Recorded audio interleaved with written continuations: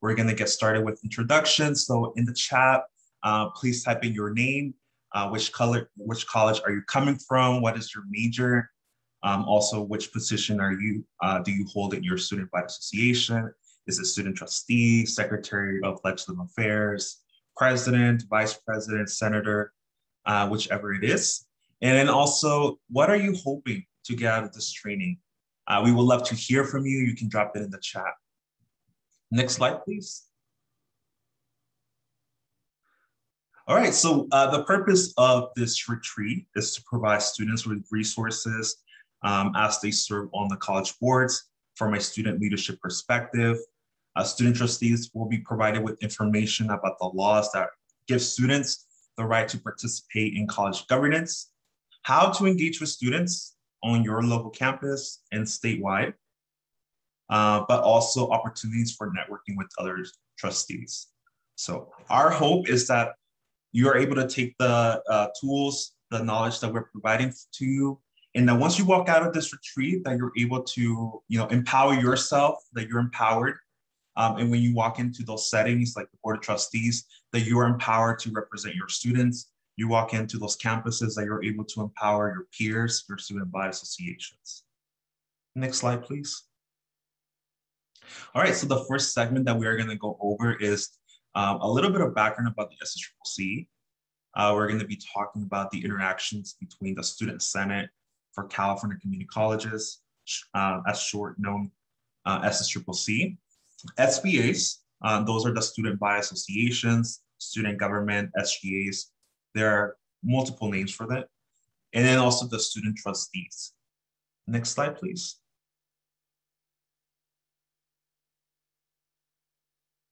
So what is the SSCCC? Uh, the, the SSCCC is a 501c3 uh, nonprofit organization. It is a student-led organization that represents over 2.1 million students in the California community colleges system. Uh, we are the largest system of higher education, not just in California, but in the nation and also in the world because we have uh, 73 districts, 116 community colleges, and 2.1 million students in our system. So if you think about it, 2.1 million students, that is roughly uh, larger than the population of Delaware, of Connecticut, you know, those uh, small states in, in the New England um, uh, part of the country. Uh, so we are we are a, a big system. We are larger than the CSUs and the UCs combined. And it, it is through the SSCCC that students have a formal and effective opportunity to participate uh, in the formation of state policies that really do have a significant impact on students. Uh, so our, our authority comes from Title V. Uh, so we are recognized to be the representative body of the students uh, to the Board of Governors, uh, to the California State Legislature, so we can go to them and speak on behalf of our students. Um, and this is just a way for us to organize and have a more meaningful and formal impact to the system. Next slide, please. The mission of the SSCCC is, is broken into several parts. Um, is to pursue policies that will improve student access, promote student success, engage and empower local student leaders, and enrich the collegiate experience for all California community colleges. Uh, so we work with system partners, we work with the California Community Colleges Chancellor's Office, um, and that is how we pursue policies. Um, that is how we work with them to make sure that we are improving, improving student access and promoting student success. Uh, we also pursue policies and legislation. So we work with, you know, assembly members to introduce bills that will, um, you know, improve the lives of students. And one of those is, for example, AB 775, uh, which provides basic needs coordinators for all California community colleges. Uh, so that is a way that we're able to, you know, improve student access and promote student success. Uh, engage and empower local student leaders. Uh, that is how we, uh, you know, empower you. So we hold trainings like this, uh, but we go beyond that. You know, we have our regions, and each of the regions have leadership, and each uh, student body association sends the delegate and a representative to to the SSCCC, and that is how we engage our our, our student body associations. But overall, we also enrich the collegiate experience. Uh, so, you know, if you participate in advocacy with us, we always uh, have opportunities available for students to, you know, meet their ledge leaders, be in those meetings, advocate on behalf of students. And that is how we're enriching the collegiate experience more than just, you know, beyond doing homework. Uh, you know, we take on exciting opportunities. Next slide, please. So the structure that we have, uh, you know, I briefly went over it, but we have three pillars in the SSCCC. Um, and this is just for you to understand how we work. Uh, so the, the first one is system advocacy. So you probably saw in your campus that there's an academic senate, there's different, you know, sectors in, in your in your um, in your college district, and so does the statewide level. So we have various system partners that we work with.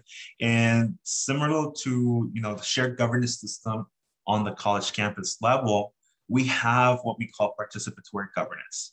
And that is how we work with our system partners like the Chancellor's Office, the Academic Senate. Sometimes there are other groups that are requiring student representation. Um, and that is how we're able to provide recommendations on policy decisions. Uh, so we send students, and that is how we provide the student input. But we also appoint uh, students to sit on the 25 plus participatory governance groups. Um, and we have recognized the importance in providing students this opportunity to make meaningful impact, but also in those settings, they do need a student to be involved.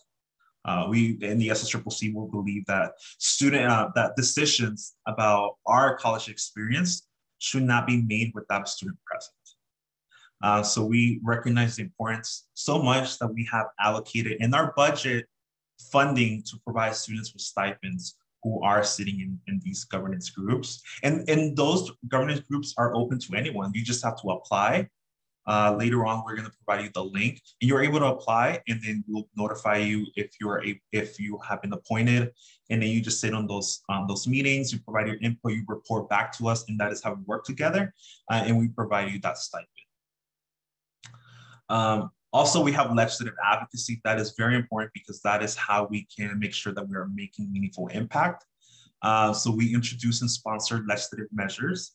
Uh, today, we're going to be talking a lot about how we're making impacts impacts through legislation to make sure that you, the student trustees, are empowered.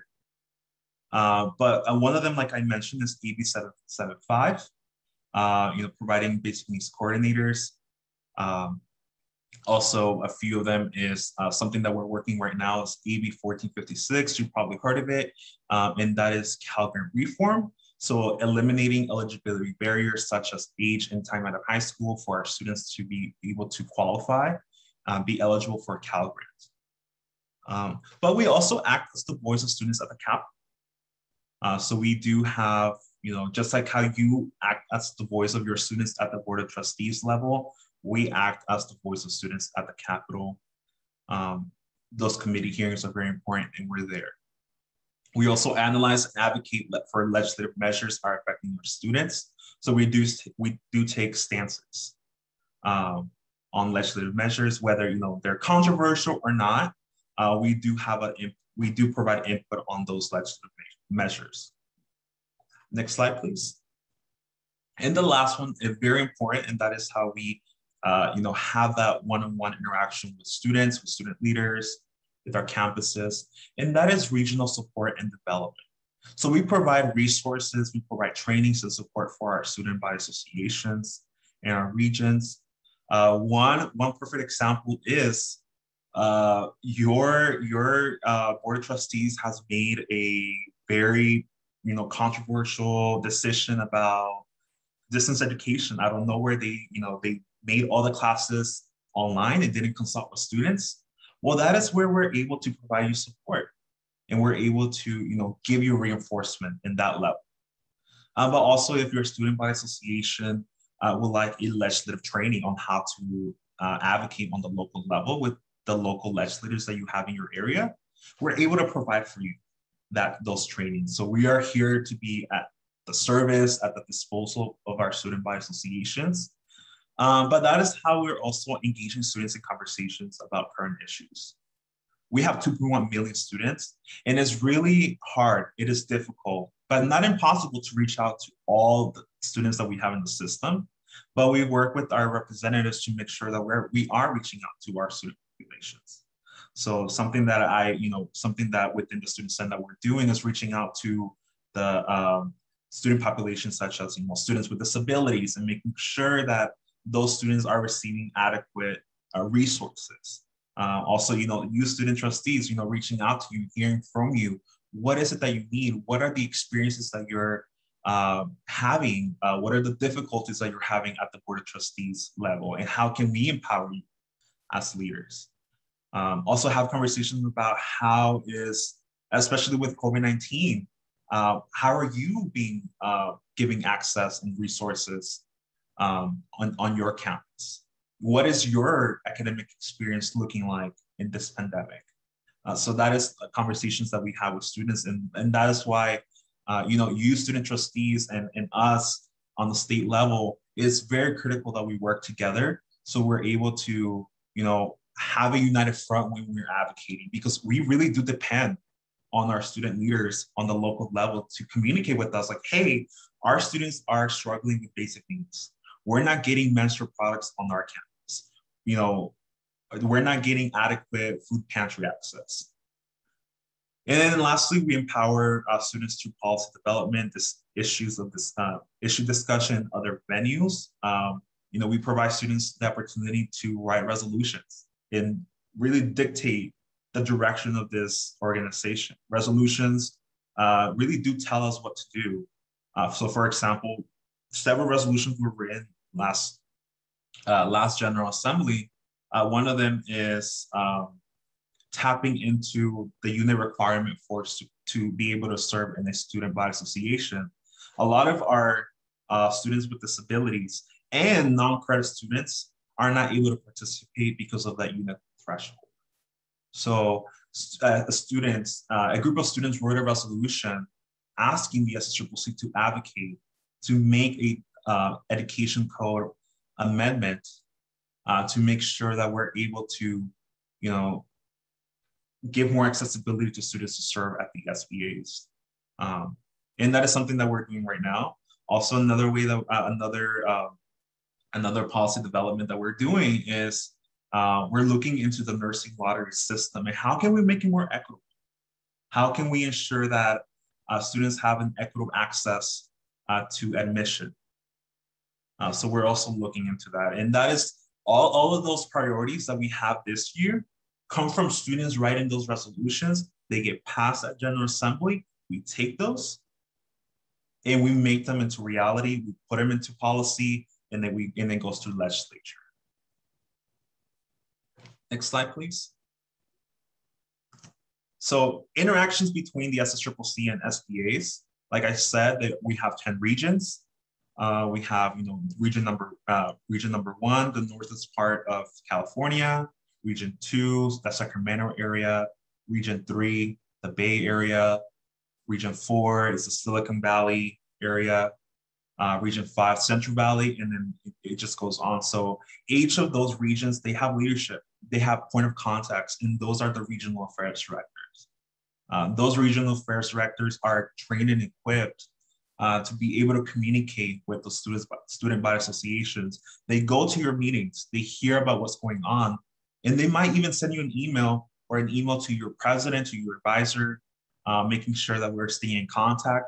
Uh, right now, the work that we're doing is activating those colleges. So um, if you know your region is not active within the SSCCC, uh, one of your SBAs has not selected a delegate or a representative to the SSCCC, then by all means, you know, please make sure that you're uh, that we're working together to make sure that your your your district is being represented. And like I said, like I noted previously, we provide support. So our, if you reach out and you're like, hey, you know, uh, my SBA needs uh, parliamentary procedure training, or we would like an update on this, or how can we lobby? Uh, you know, we're able to provide those tools. Uh, but also SBAs play, play a critical role, like I mentioned, in state level advocacy. uh, because we are uh, experts in our experiences as students. You know, not faculty, not staff, not college administrators, not trustees. We are the experts. Uh, so we are able to tell our stories, and our stories really do unlock a lot of the gridlock that is going on when, whenever uh, policies and, and, and laws are being decided upon. And like I mentioned, uh, the priorities of the SSCCC is the will of the students. Our college vote on those resolutions, we take them and we develop them to be our priority. Next slide, please. All right, uh, interaction between the SSCCC and student trustees, very important. This is where I, uh, this is the area that I, I, really want you to ponder upon. How can we work together? Uh, you know, within the SSCCC, you know, it is my goal that, that we're able to work together more meaningful, that we have a meaningful collaboration, uh, you know, that we are able to work together on, on your level, on our level, uh, to support each other. Uh, for example, like if, uh, and I'll just use AB 1216, uh, 1216. Uh, so we, in, within the SSCCC, we have it in our priorities in the past to empower our student trustees. So we all know that student trustees usually, you know, don't have the unofficial vote on, on the board of trustees. Uh, they're either only given a, the right to make a motion, a second, an advisory vote, uh, but it doesn't really, you know, make an impact in the sense that you don't have a direct impact into the decision that's being made. Uh, so you have to rely on giving advice, you know, making sure that you're bringing students onto the board of trustees to testify on issues that are affecting them. Um, but this legislative cycle, uh, we did work with Assembly Member Jose Medina to introduce Assembly Bill 1216.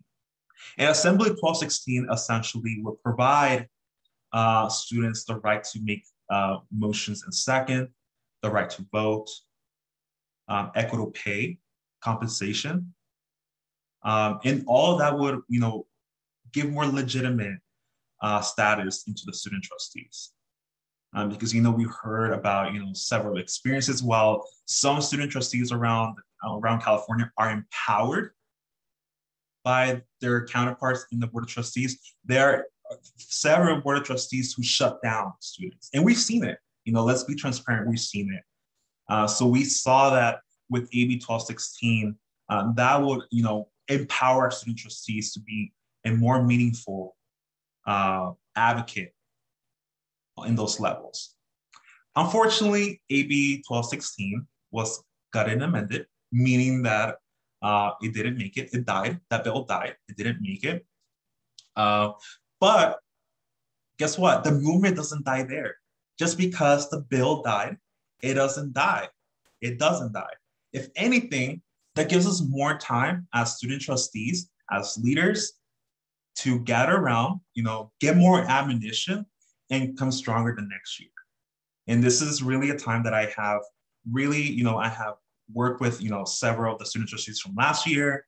Um, also, uh, you know, with with uh, with our board of governors members, uh, really had conversations about, you know, this is the year that we're going to prepare. Uh, this is a year that we're going to gather together um, because in the previous years, and I'm going to mention the student trustee caucus, you know, we've only had, you know, several, you know, maybe 10, 15 student trustees. Um, and I'm going to be very frank with you. And, you know, we're in confidence here, we're, we're colleagues. 10 students, 10 student trustees cannot carry the movement, right? The civil rights movement did not just rely upon one person. It was a movement. It was when people came together. And this is the same with student, student trustee enfranchisement movement. We need to work all together. We need more people on board. We need at least, you know, 40, 50. We can have all student trustees join together and, you know, in one voice say, we need the right to vote. Then we're gonna move mountains. Um, but in the meantime, uh, you know, with AB 1216, it was very unfortunate that it did not pass. But like I said, our actions, our movement doesn't die, this doesn't die there. Uh, we have to continue. And if anything, we have learned from the past on what to do and what not to do. Now, the student trustee caucus, like I mentioned, is it is a um, it is a setting, it is a group of, of for, for the student trustees to come together um, and communicate, network. Um, it is a great, great, great place for, for all student trustees to, um, you know, share ideas, empower each other. Like, hey, um, in my in my board of trustees, we're talking about this. In my campus, this is how I engage with our students. This is how I work with our, our student body associations. That is how we uh, work together um, in, the, in the student trustee caucus. So the student trustee caucus is a part of the SSCCC, and we have that set in place for all student trustees to come together. The last point um, is collaboration in the region and state level. Uh, so we collaborate. Uh, for example, like I, I, this is just me, you know, with my experience, you know, with AB 1216, I come from Region 9, which is the Inland Empire. I'm part of the Riverside Community College District. Um, and we really needed, you know, our student trustee to come on board from last year uh, with to advocate on AB 1216. And that is how we see how we work together. Sometimes legislators are more receptive to the message when it comes to when it comes from a constituent. Um, and that is where we really depend our, on our student leaders to be on board and, and do those joint legislative visits. Uh, there are going to be times where we're going to, you know, ask you like, hey, would you like, would you mind coming into this meeting? We're going to talk to your local legislator uh, because you have the experience, you know what your students are going through, and they want to hear from you. There's only so much on the state level we can tell, uh, but it is those experiences, those on-hand experiences that really do make a difference. Um, and also outreach. Uh, we really depend on you and we want to work with you to make sure that we're reaching out to students. Um, we want to hear the stories of students, whether it is, you know, what are they going through basic needs, uh, you know, how is financial aid reform going to affect them? Why do we need financial aid reform? There are, you know, horrendous uh, stories about students who are barely, you know, surviving with the current financial aid that they're receiving.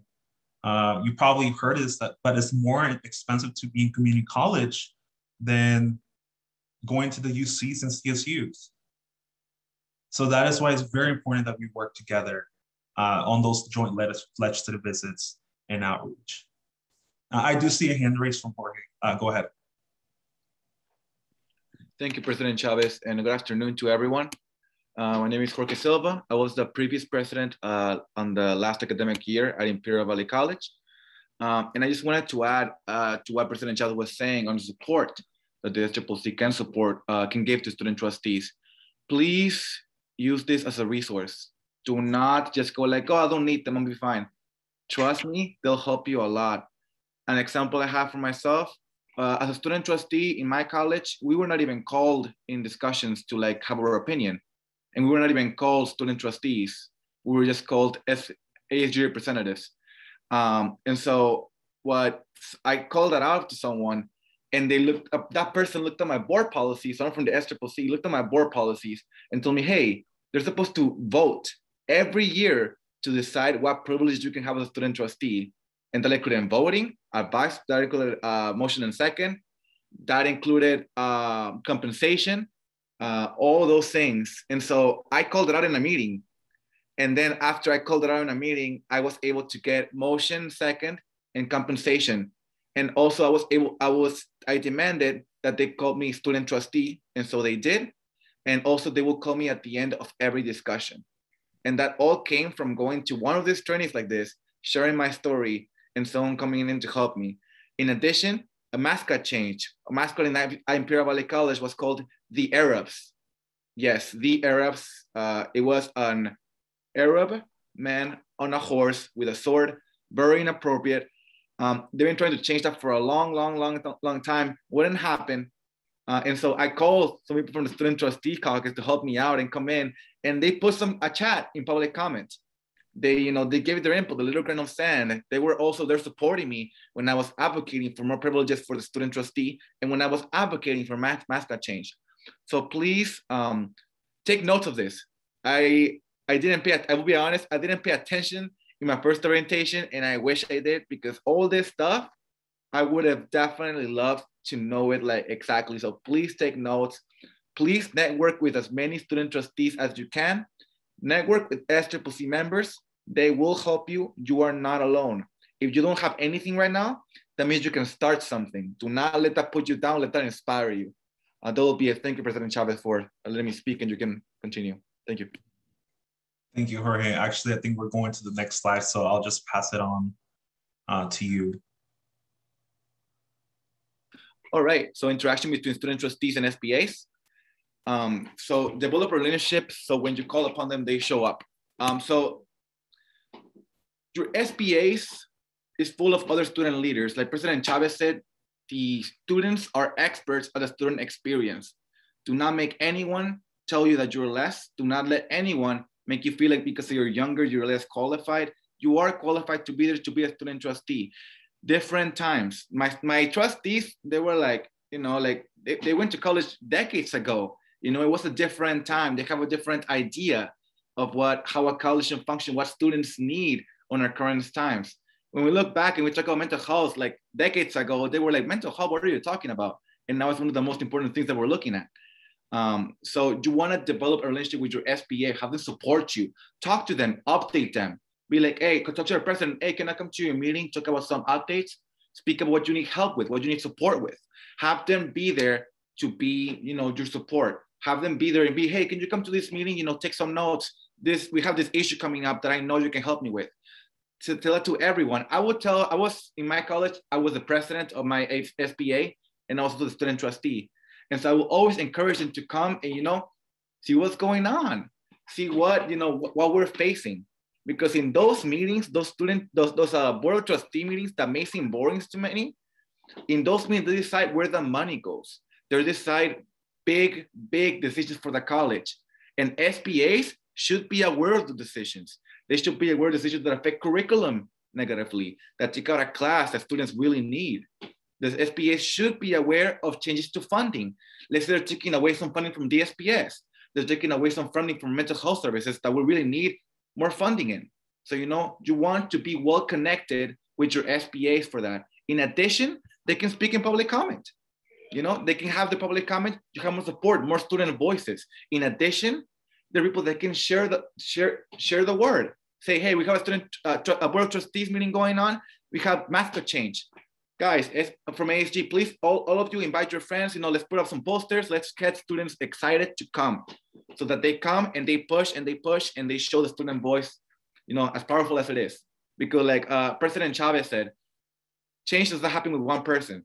Yes, your student trustee, yes, you have a voice, but you can have many, many more voices with the same weight as yours being there with you. You want that with you. You want to take advantage of that. The more voices you have, the more support you have, the more odds you have to create great change in your college. Uh, local issues and concerns, what do students care about? That too, in your SBA, what do you have? You have student leaders. You have students that decided to dedicate time for other students, to serve students. What better place to find what concerns you have to be aware of when you're a student trustee, when you're sitting on that chair, to know, okay, what are the main issues our campus faces? Because let's be honest, not all our campuses face the same issue. My campus is very close to the border, very, very close. What does it mean? We have a very, very, very big ESL population, English as second language. Not all colleges have that, you know, so I have different issues that some of you may not have. So, you know, so you want to talk to your SBAs, you know, ask them, what are the main issues we're facing right now? And they have many different people that can tell you all different facets of what's happening in the community. And so that's what that means. And use SBA meetings to get support. You may need them to take positions to support your stance. That's what I was saying. They can most definitely come with public comment. They can write a letter of support. You know, SBAs are really, really useful, and you want to make sure that you have them with you. So when you're pushing and pushing and pushing, they're pushing along with you, and you don't have to carry all that weight by yourself because it is a lot of weight. And I have trust other trustees talk to me like I'm a kid or look at me like this, like, oh, wow, he's speaking. You know, when I'm speaking, it's very condescending and it may feel very hard sometimes. You may feel like less but do not let that affect you. You are powerful. You're a student trustee, and you can get so many other students with you. You are a bringer of change, and you can do as much as you want to do, as long as you want it. It is there for you to take. Uh, and so I think that will be it. Is there anything missing, President Chavez? Oh, no, those are, uh, you know, excellent points. Uh, please recognize the power, the influence that you have as a student trustee.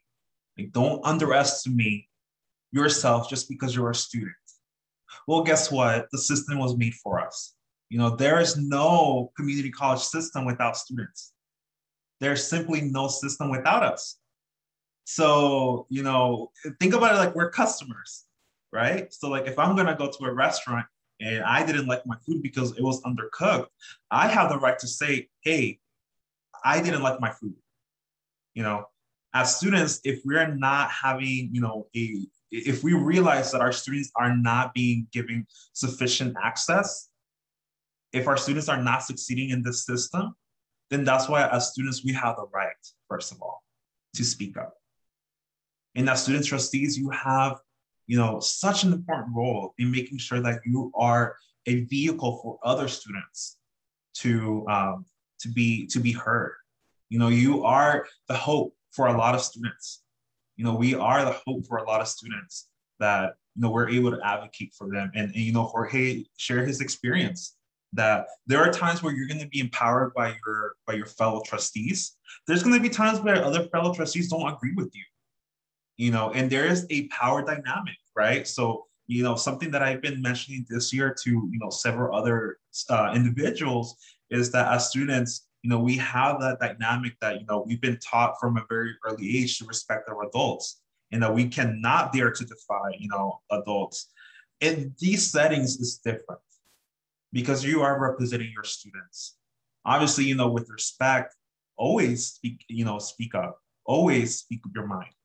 Uh, you know, if you were ever silenced to say like, no, you know, I'm speaking on behalf of students, whether you know you're representing 10,000, 60,000, 120,000, a million, whatever it is. So please do recognize uh, the importance that you have.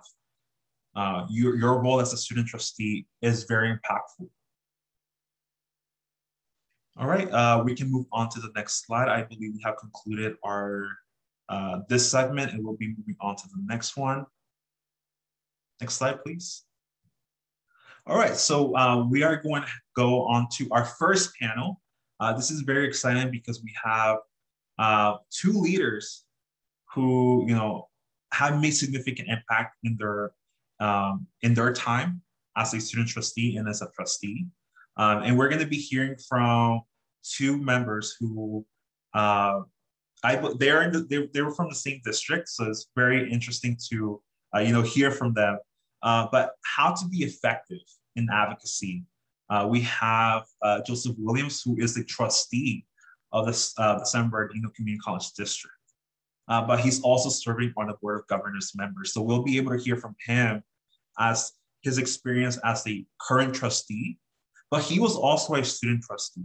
So also keep that in mind that, you know, we want to encourage that if you are a trust, a student trustee to, you know, think about it, make sure that you are considering running for a trustee in your district. Uh, because we need more students who have those positions in order to make an impact.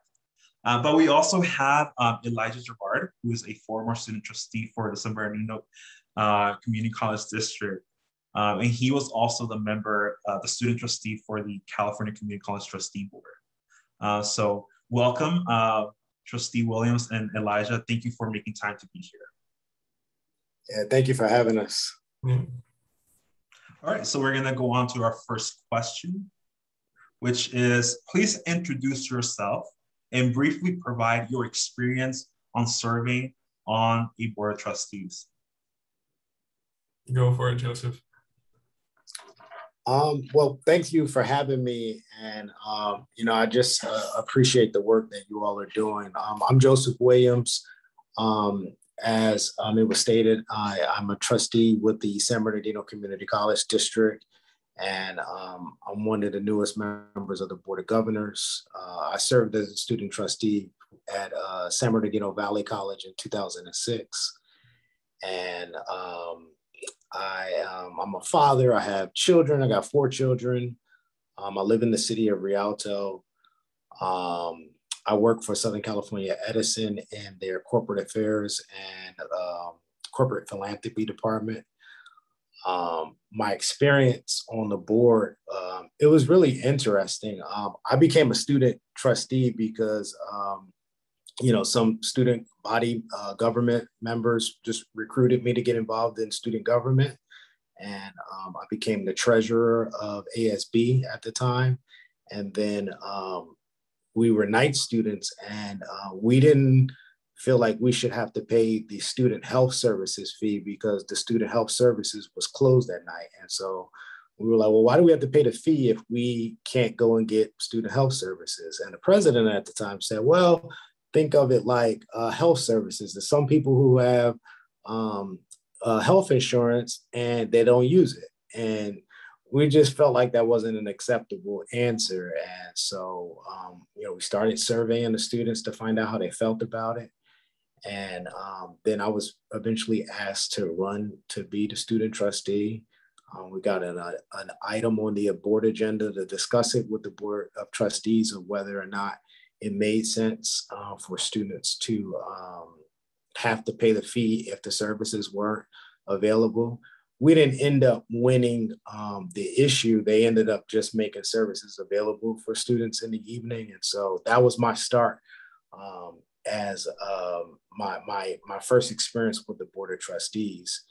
And um, you know, I don't want to take up you know too much time, but you know, I want to give Gerard um, Elijah an opportunity to uh, to talk about um, his experience. But um, you know, it's been interesting. Even as a, a, a full voting member, there's times when you know my colleagues and I don't agree. I'm the youngest member on the board, so um, you know whether you have a full vote or an advisory vote, you'll still get into those issues where it's you know miscommunication, lack of understanding about an issue, or just being on you know different sides of the issue. And so, um, but I can talk more about it. But I, I yield to Elijah. Go ahead, Elijah. Yeah, thank you so much. Um, so my name is Elijah Gerard. I am the former student trustee for the San Bernardino Community College District. Uh, I was unique in that I was able to serve two terms, so I served there for two years. Uh, and my second term, I served as the student trustee to the California Community College Board of Trustees. Um, when you guys have your conference for student trustees with the ACCT, um, one of you will be elected to serve on that. Um, in my capacity, so I was actually very uh, unique. I never served in student government before I was a student trustee. Uh, and I had an incredible guide. Her name is Valerie Johnson. Uh, she just recently started working in the legislature, uh, and she was my president and my uh, guide through most of my work. Uh, and my biggest issue, my first year as student trustee, was that students in my district were not paid to serve on committees. Uh, and so I worked and organized and was able to pass legislation through the board to ensure that all students who served on committees were paid. Um, I think that unfortunately, but realistically, for most of our history and even today, uh, student advocates and advocates who are young are viewed as children. We are viewed as better seen and not heard. Uh, and so oftentimes our duty is to be seen in the room, but to ensure that because we are visible, we are using our position as visible students to make way for other students to be heard. Um, in my experience, the way that I was able to pass that legislation was by bringing it to all of the senates in my shared government's governance system. So bringing it to our academic senate, our classified senate, and our student senate. Um, and oftentimes those unions and those academics are more listened to than students are. And so by working hand in hand with other people in my district, I was able to get the issues of students more on the table and more listened to. Um, the next year, when I served as the student trustee to the California Community College District, my movement was to empower students across the state. And so I worked to introduce legislation which is called AB 2910, which would have guaranteed all students the right to an advisory vote, the right to compensation, the right to attend closed session, and the right to make and second motions. Um, and we faced a lot of resistance, but it was because of the SSCCC and because student trustees at the time were very connected, we were able to introduce that legislation through Shirley Weber, who now serves as our Secretary of State in California. Um, unfortunately, that legislation was set aside because of the COVID-19 crisis. Uh, and so we were not able to pass it. But I think going forward, What's going to be your best move is staying in contact with one another, introducing legislation at the district level, and then moving up to the statewide, ensuring that all of your voices are together. Um, because oftentimes students are not listened to when we're alone, but when we're together, we very much are. So thank you for having me. Thank you so much, Elijah, for uh, you know uh, alluding to that uh, you know mindset that we are sometimes often better seen than heard. And I'm pretty sure, you know, as, as student trustees in, in this room, you probably, you know, had uh, firsthand experience that sometimes, you know, we are seen as children, you know, even if we're, you know, in our early 20s, that we're seen as unexperienced. Um, even sometimes we're seen just, you know, oh, just a community college student. Uh, but, you know, going back to that, um, you know, we are our own experts in our own experiences. And that's what gives us legitimate reason to speak up. So thank you, thank you very much, Elijah, for bringing that up. Uh, we're going to be going to the next question. Uh, describe what you see as effective advocacy by uh, student trustees, and I'll let uh, Joseph Williams go first. Yeah, I think Elijah was the model for that. Um, I never saw him as a, you know, as you know, a child. He was always prepared for his meetings and um, really understood the issues. Um, and then he understood the rules of order and Robert's rules better than we did as the trustees on the board. And so, um, you know, I always respected that about, um, we didn't always agree on issues, but the fact that he understood the issues and you knew that he talked to students. I think where some student trustees get caught off is that they don't talk to other students and they're really just only representing themselves. And so it's hard to get behind that when it's clear that like this is a personal issue versus you're representing the students on campus. When I was student trustee, I would survey my students. I would go to the classroom uh, when I had the opportunity and, and just kind of try to expose myself to them and let them know who, who I was. And so for me to listen, you know, I want to know that the student trustee has talk to some other students, um, that they're prepared and that they're actually interested in understanding my perspective as I'm sitting there because I'm also representing constituents. And so, you know, what I find is um, it's, it's been very hard. Um, you know, I think Elijah is among, we've had like two or three student trustees that really has stood out. Um, but most student trustees don't engage with the, the trustees, you know, barely say hello during the meetings, you know, in between times, effective student trustees have conversations with the trustees and, you know, making sure that perspectives are understood from both sides. Um, because it's a relationship kind of situation because, you know, um, as trustees, you know, you, you, you, you listen to, um, you know, primarily the information that you're getting from staff um, because they're making recommendations. As as board of trustees, we really don't. A lot of times, we're not setting policies. We, we're really adopting policy that gets recommended to us, and so um, and so you you know you're listening to a professional staff, and so that relationship, if if the student trustee is recommending something that's in opposition to what the staff is, our relationship with those trustees will take you a long way because then they'll really listen to you and really try to hear. Now, they might not always agree or do what you say, but that relationship part will go a long way if you're making a recommendation that is um, opposed to what the CEO is recommending. And so I can't stress that enough. And then the last thing that I'll say is, you know, preparation, being prepared, you know, knowing your issue, being to, being able to speak to it, um, you know, not worrying about like having that confidence in yourself. Like you're sitting there for a reason students elected you you're the person you know uh, take a deep breath get through the fear and you're the person you know having that belief in i am the person it, it goes a long way and i think that that's what helps with um, being effective. And then you know one last thing is not just being a token for the campus uh, administration and just whatever they are telling you to do and say, you know, you you you don't get too far with the trustees. When you when it seems like you only just do whatever the student life director tells you, you won't really get trustees to listen to you. And so, um, being a pulse of students is really important.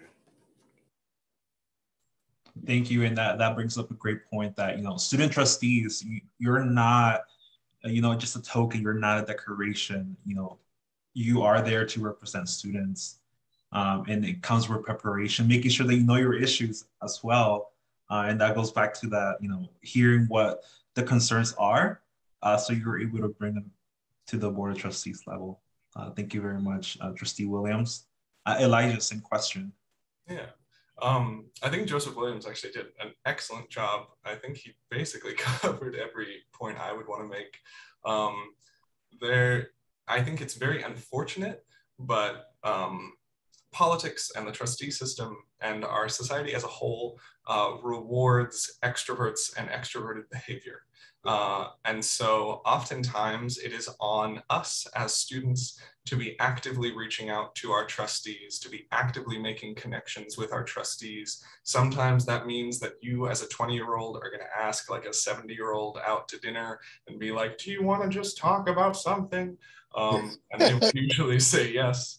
Um, if in my district, I was very lucky. Um, my district brings their student trustee to conferences. And so at those conferences, I was able to spend time with my trustees and I was able to go to dinner with my trustees. And so that's something I would really recommend you guys do and fight for on your boards is ensuring that students are invited to all conferences that the rest of the trustees are invited to. Um, and then as I talked about before, um, until we have a vote, which I am extremely hopeful is going to happen, but it's looking like it's going to be a long process. Um, until we have a vote, our power lies in our visibility. And so your power is being present at meetings. Your power is being the student in rooms. And so if you want something passed, the best thing that you can do is work with the SSCCC and work with the students in your district and bring them all to a meeting. So um, one of my last meetings that I had, um, I had introduced legislation to the board agenda, something which is meant to be guaranteed to all student trustees. That's something I hope you all know. You have the right to introduce legislation to your boards. Um, and my legislation had been ignored for two months. Uh, and so I brought and organized 15 public comments uh, to come to my Board of Trustees meetings and all say, why hasn't this been added to the to the board agenda. Why hasn't this been added? The student brought it. Um, and at the next meeting, it was. And so oftentimes the most powerful thing a student can do is a good old public shaming um, because our trustee meetings are generally not attended by members of the public very much. And so if you can bring a sizable student voice and if you can bring a sizable public into that room, you are much more likely to have your voice be heard. Uh, and so that would be the best thing I could say. It would be to build connections uh, and to make sure that you're being visible at all of the meetings you're in. Can I add something to that? Of course, go ahead. Yeah, if you want an agenda item, say it in the meeting. You know, say in the meeting, hey, at the next meeting, I would like the opportunity to discuss and, you know, ask one of the other trustees to agree with you. Tell them in advance. Uh, because even as, you know, uh, BOG member or members of the board, like generally the president of the board puts together the agenda with the uh, the the chancellor. So understand how your agenda gets put together. But if you ask for it in the public meeting, and then you're asking another trustee to help you follow up on the requests, then um, it's harder for the staff. Because if you're just asking the staff outside of a meeting to put an item on, it's easier for them to you know ignore your item. But if you say to a trustee, hey, you know, I really like to have the opportunity to discuss X, Y, Z. Can you support that? Um, and then you let them know, like, look, I'm going to bring this up in the public meeting. I like for this to go on the agenda. That can be an effective way to get your item on there too. Yeah, thank you for thank you for providing that. And uh, going back to Elijah's, uh, you know, I want to highlight something that you said that uh, you as, as a student trustee, uh, you are entitled to professional development just as much as any other uh, trustee. So if at any point you feel like you're not prepared or you're not being adequately trained, um, it is within your right as a trustee and the board to ask for professional development and be giving the same tools that they've been giving to any other trustee. Yeah. So that's just, yeah. So that's just for you to keep in mind uh, along along the year because the year is just going to get busier and you want to make sure that you are prepared. Yeah. All right. Uh, we're to go to the next question. How should student trustees effectively work with other trustees? And I'll let Elijah go. Um, hopefully cordially. Um, so uh, there is a brilliant poet named Sarah Kay, and she talks about how oftentimes as young people, we are taught to enter rooms and move through the world like this. Uh, and her job is to convince us to move through the world with our hands open, um, ready to accept what people are telling to us. Uh, and so it is always better to have allies than enemies. It is always better um, to ask permission than ask for forgiveness. Um, and so ideally, as a student trustee, you would want to be working with your trustees to make what you believe in reality. Uh, and so on my board, I had allies like Joseph Williams and also allies in unexpected places because on my board, um, the person who helped me the most was the oldest, whitest man. Uh, we used to call him the Bernie Sanders of the board. Uh, and uh, he was absolutely helpful. He was an incredible ally. Uh, and so understanding what's important to your trustees and seeing how you can bring what's important to you to them so that it's more likely to be heard and understood uh, is important. Uh, and also, the reason I say it's so important to have friends and be an ally is because then, when you do need to take a stand, and when you do need to be against your board and you do need to be vocal, it's understood that you aren't just a problem. You aren't just someone who fights against everything the board does. You want to be a part of this board, and this is something that you cannot be a part of. It's something you have to take a stand against. And so, the more allies you have, the more powerful it's going to look when you do have to take those decisions against your board. Thank you, Elijah. Uh, Trustee Williams? Yeah, I, I agree with um, Elijah. First and foremost, introduce yourself. Make sure that all the trustees know who you are and walk in the meeting with your head up. Say hello, smile, shake hands. You know, I mean, barring COVID and all of that, you know. Um, but you have to let people know who your what your personal story is because again i think the advantage that trustees have is we spend more time together than we do with the students. Um, because you know and then it, even if if you could figure out how to get the committee meetings scheduled when you don't have classes and really make sure that the trustees understand that like look i want to be involved i want to be a part of it. And so if you get a chance to spend time with the trustees that's that's helpful because then you get perspective. They get to understand where you're coming from, and then you get to understand where they're coming from. It's that, you know, seek first to understand, be second to be understood kind of situation. And when folks know where you're coming from, then you know they're they're more likely to at least hear what you're saying. It doesn't mean that they're going to agree with you, but when I know I have a better understanding of what a person is, then I begin to have empathy for what they're saying. I'm listening more, and you know, just all of those different kind of things. Uh, I would have all of my trustees' cell phone numbers. You know, of course, you got to understand the Brown Act and make sure that you don't violate the Brown Act. I think you know, student trustees are um, you know a part of that. Um, you know, you should be having um, at least monthly meetings with your CEO. You got to meet with your CEO. If you're not doing that, you got to start doing that and make sure that you have a meeting with the CEO prior to about your agenda. Um, and even if you wanted to ask one of the trustees to be a part of that, you know, I would take my trustee on a tour of the campus. I would potentially take my trustee on a tour of my community, and so that they can see, you know, what I'm seeing and what you know, and just get better perspective of why I'm advocating for the issues that I'm advocating for.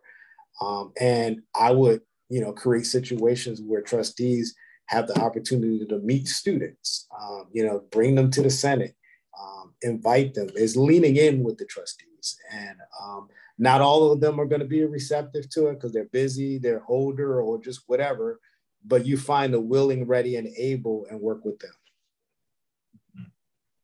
Yeah, thank you, thank you, Trustee Williams, and uh, that's very important for for all of us student leaders to get to know our governance system. You know, CEOs, VPs, uh, getting to talk to your academic senate president. That is very important because you want to build those connections uh, because you are going to need them. Um, we have one more question because we I'm, I'm pretty sure that our, our student trustees are very eager to ask a few questions right now, but we have one more question and then we will move on to uh, Q&A. Uh, so next slide, please. Okay. Uh, what recommendations would you give to student trustees who only have an advisory role? How do they influence other student, other trustees and the board? I'll start with Elijah. Right. Um, this is really always going to be the question. Uh, and I wish I had the perfect answer or the best answer I could give. Um, but it's, it's going to vary depending on who is on your board, depending on how receptive your board is. Um, some of you actually don't have an advisory role. You're not guaranteed the right to an advisory vote. That's a privilege under California Higher Education Code 72023.5. And so um, it's understanding why you are there and what your board of trustees is willing to give you. Um, as I said before, uh, our goal is always to be friends with our board, always to be allies with our board, always to be in lockstep with our board. But if you need to have your voice be heard, the best thing you can do is flood a board of trustee meeting with public comment. Um, your voice matters because you are the only student in those rooms. And so, especially when you are meeting with legislatures, um, and especially when you are meeting with people outside of your board of trustees, you have the power to say, I'm a student, and that is not my lived experience. What this board of trustees is saying is different than what I am experiencing. Um,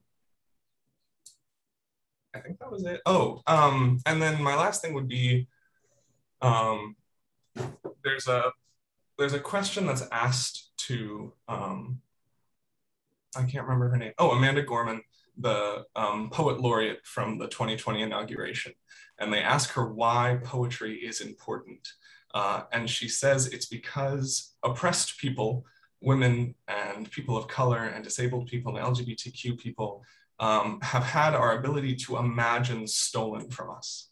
And so the duty of poetry and the duty of writing is to imagine a world which is better than the one which we currently live in. And so oftentimes as student trustees who are not listened to and who are not given an advisory vote, it can feel like we can't do anything. Uh, and so you have to always be willing to imagine a world that is better than the one you live in. And you have to be willing to work with allies and imagine a world where you do get an advisory vote or do get a full vote. Uh, and so I would say never give up hope on that and always be willing to work with other people. Thank you, Elijah. Uh, Trustee Williams? You know, and I, I know the vote is important to the, the student trustee. To me, you know, whether you have an advisory vote or a full vote, it does, because like some of the trustees that have a full vote, I'm not listening to them because I don't think that they know the issue and they have a full vote. So the vote is not the thing that's going to influence me. Is how you educate me about your issue. Um, I think the thing that um, Elijah did that was different than most is that he took the time to say, "Hey, can I talk mm. to you about this specific issue?"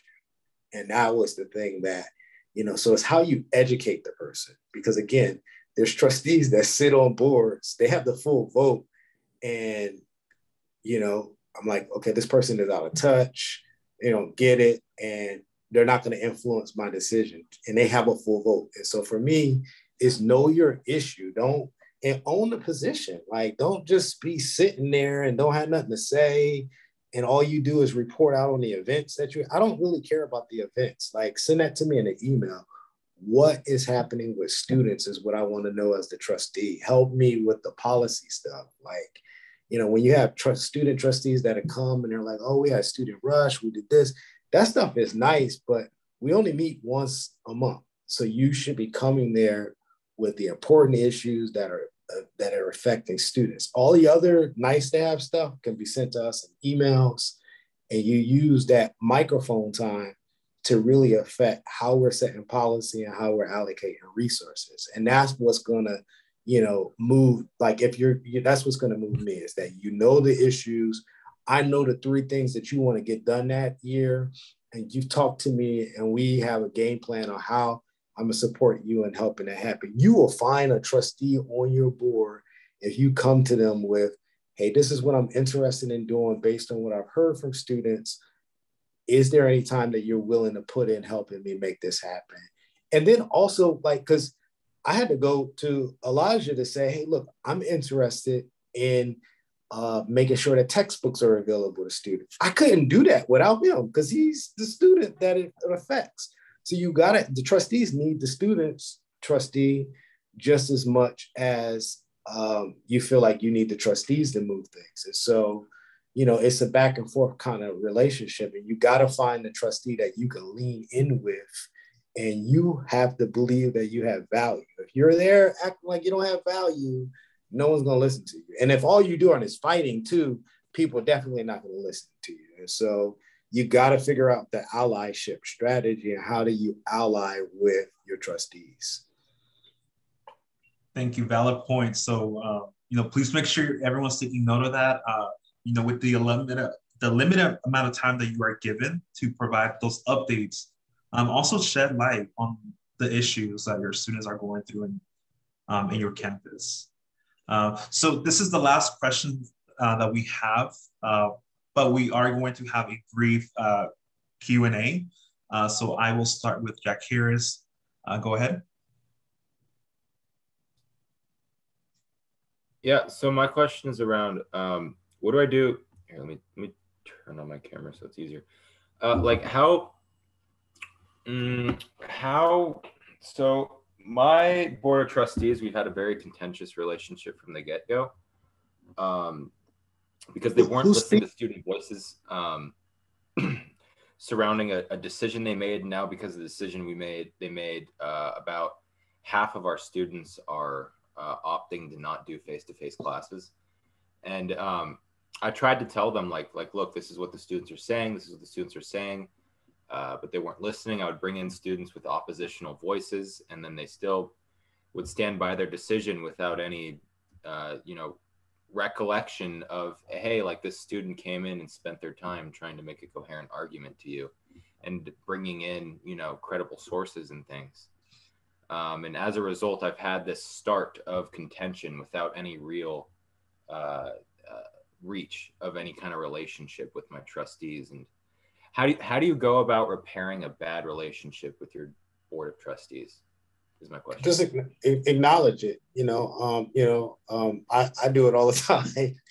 I get on the wrong end of the trustee because I always think different, and um, you know, so it's just acknowledging that hey, we got off on a on a bad foot. You know, um, because in politics, you know, they most folks believe there's no um, permanent uh, friends, they're only permanent interests. And so we could be mad at each other on one issue, but they're going to need you on another issue. So it's just acknowledging it and just say, you know, I'd like to, um, you know, try to um, think about what we can do on the next issue. So I think it's confronting the brutal facts and just, you know, the elephant, just confront the elephant in the room.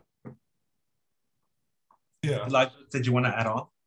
Yeah. Um, I think every, I agree also with what Joseph had said.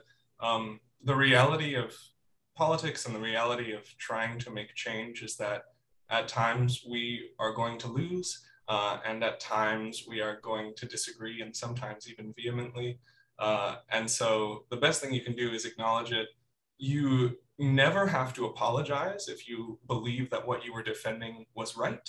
Um, the best thing you can do is just say, I still stand by what I said, but I hope that moving forward, we can work on different issues. Um, when I was on the Triple CT board, the statewide board, there was a point where I basically yelled at the entire board uh, and said that they were, because at the time we were debating um, allowing students to sleep in their cars on campus. Uh, and one of the trustees brought up like an unimaginably terrible point. And so I had basically called out the entire board for it. Uh, and the president in that meeting like shut me down. The president was like, that is not the case. Things are happening differently. And he was correct. There were issues that I didn't understand outside of it. Uh, and so in that instance, I was able to say, I made that mistake and that was my fault. Um, but you can always say, I don't apologize for standing by students. This is how students feel. Uh, and I hope we can do something to make students feel more included going forward. Thank you. Uh, we're going to go on to the next uh, person who has a hand raised, uh, Michael Cooper.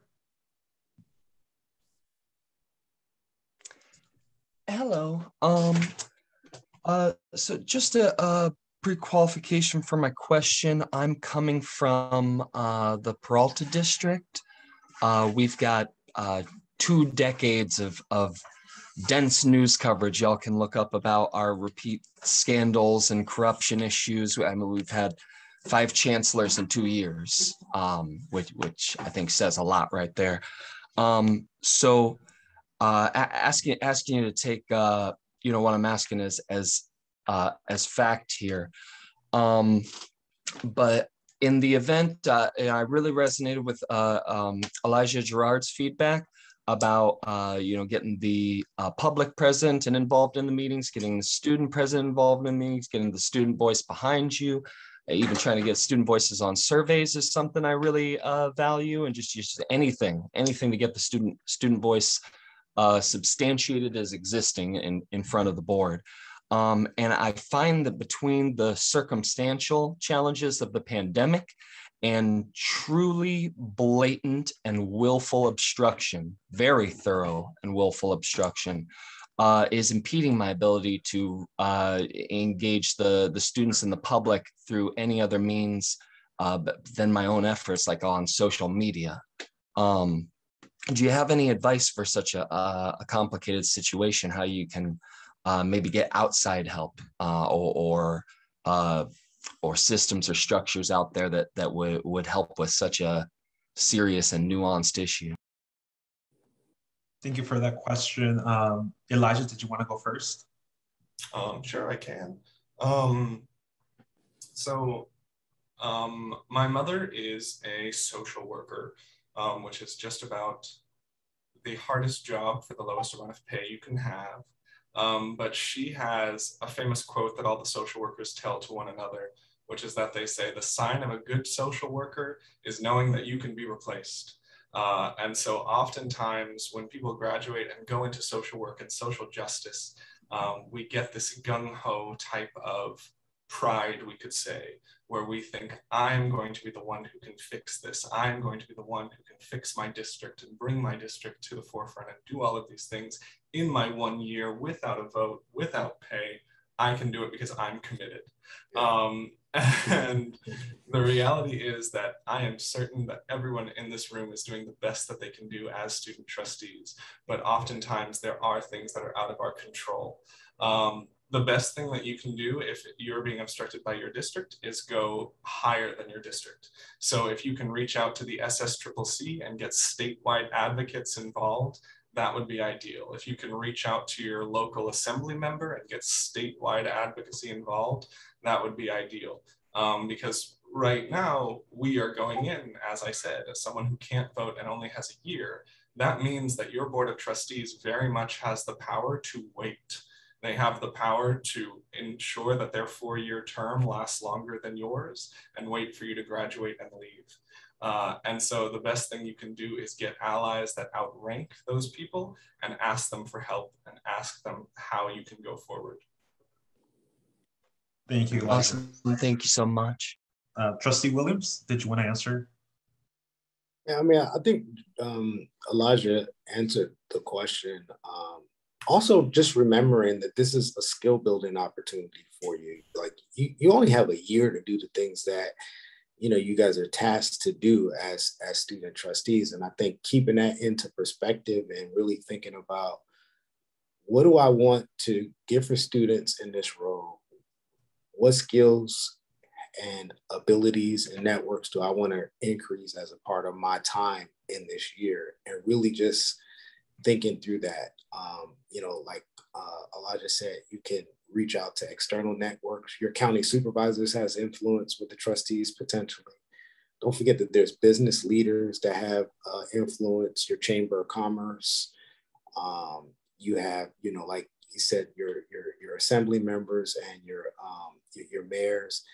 Um, but I think the thing to really look at is why, what, why am I being obstructed and really understanding that issue? Am I, am I off somewhere or are these people really off? And just really I would get some feedback on there because on that and just I don't know, my experience is that most people want students to be successful. And so, you know, I know that there were times when I was a student trustee that I wasn't completely up on the whole issue whenever it was I was getting pushback on stuff. And so, you know, once I started just kind of um, fully wrapping my mind around all of the impacts of the things that I was asking them to do. And um, you know it was easier for me to get support like you know from outside. And so you know i would really just kind of get a broader perspective to understand why are you pushing back against what i'm saying? What am i is there something i'm missing? And get their perspective and then rethink about your strategy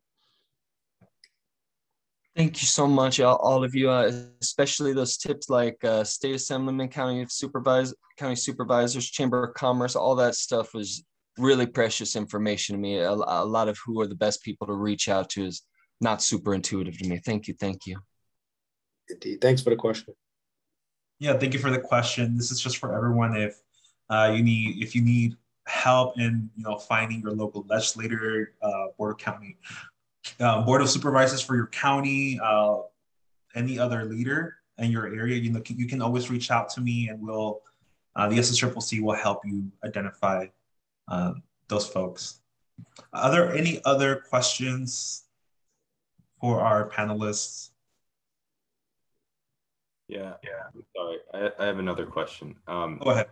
So I'm deal I'm dealing with the uh, uh, well, I guess long story short, I'm dealing with a, a teacher that made a racist comment. Um, and I'd like to know how the students feel because it was in one of our CTE programs. Um, I'd like to know how the students feel. So would it be would it be uh, polite for me to just go and uh, and ask students uh, how they felt about the comment, or would it be better if I did a survey, or would it be better if I discussed it with uh, you know campus leadership first, or what would be because I want to know how students feel about uh, you know and what they think about about what occurred, right? What's, what's your objective from having that information? About it, right?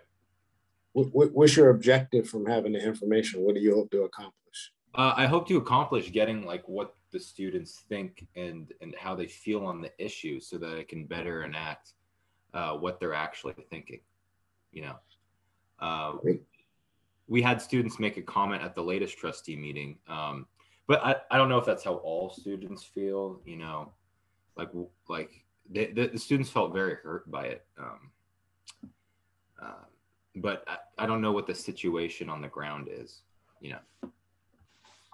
Yeah, I mean, there's a couple. I mean, you can, there's a part of the climate survey that the campuses do. You can ask for help with specifically, you know, doing outreach to those students that were um, impacted by the, the, the issue. Um, you could do it yourself. Um, you know, you could work with the associated students to uh, do a focus group with those students. Mm-hmm. Um, you know, I think there's a number of approaches you can take. Um, yeah, I think those are all really good points. Um, I think as a student, uh, there are a few things I hate more than filling out surveys. And I think all of us as students have received all of those survey emails and have deleted all of them. Um, and so I think oftentimes because we're student leaders, we're able to better know like no one's going to answer this survey. Um, so I think the best thing is to I always personally started out reaching out to student government. It's extremely important to remember that your student leaders are a very specific breed of student. They very specifically are not working as much as the average student. They very specifically have the time to be involved. And so they aren't necessarily a good um, data set to understand how students are feeling on the ground, but they are the most accessible students and they are always the best place to start. Um, what I would say is that what's unique about being the student trustee is that you have access to the board of trustees and you have access to outside groups. Uh, and so if I had to guess, I would put money that your academic senate and that your California Teachers Association unions have passed anti-racist policies in their union contracts. Uh, and so I would go to those unions and ask, how committed are you to your anti-racist contracts? Um, and if they are, I always have believed the best allies you can have in your district is your academic senate and is your academic staff. They are always who is going to be most listened to by your board of trustees and always who are going to have the biggest voices in your meetings. Mm-hmm. Thank you, Elijah. And one thing that I did want to highlight is I was the regional affairs director for Region 9. Mm-hmm. So I work with the colleges that you're that you're mentioning. And the SSCCC last year did pass a anti-racism student plan of action that was sent to the statewide academic senate, and I sent it to the academic senate presidents of the region. So they should have it somewhere in their in their in their email. You know, what are students saying about uh, you know talking about the racial climate or classrooms? Uh, so if you want, I can most definitely send you that, and that's going to give you more reinforcements from the state level saying students all over the California, you know, don't necessarily appreciate that, and also, you can reach out to your uh, the associated students, have an agenda item, and invite those students to have a conversation.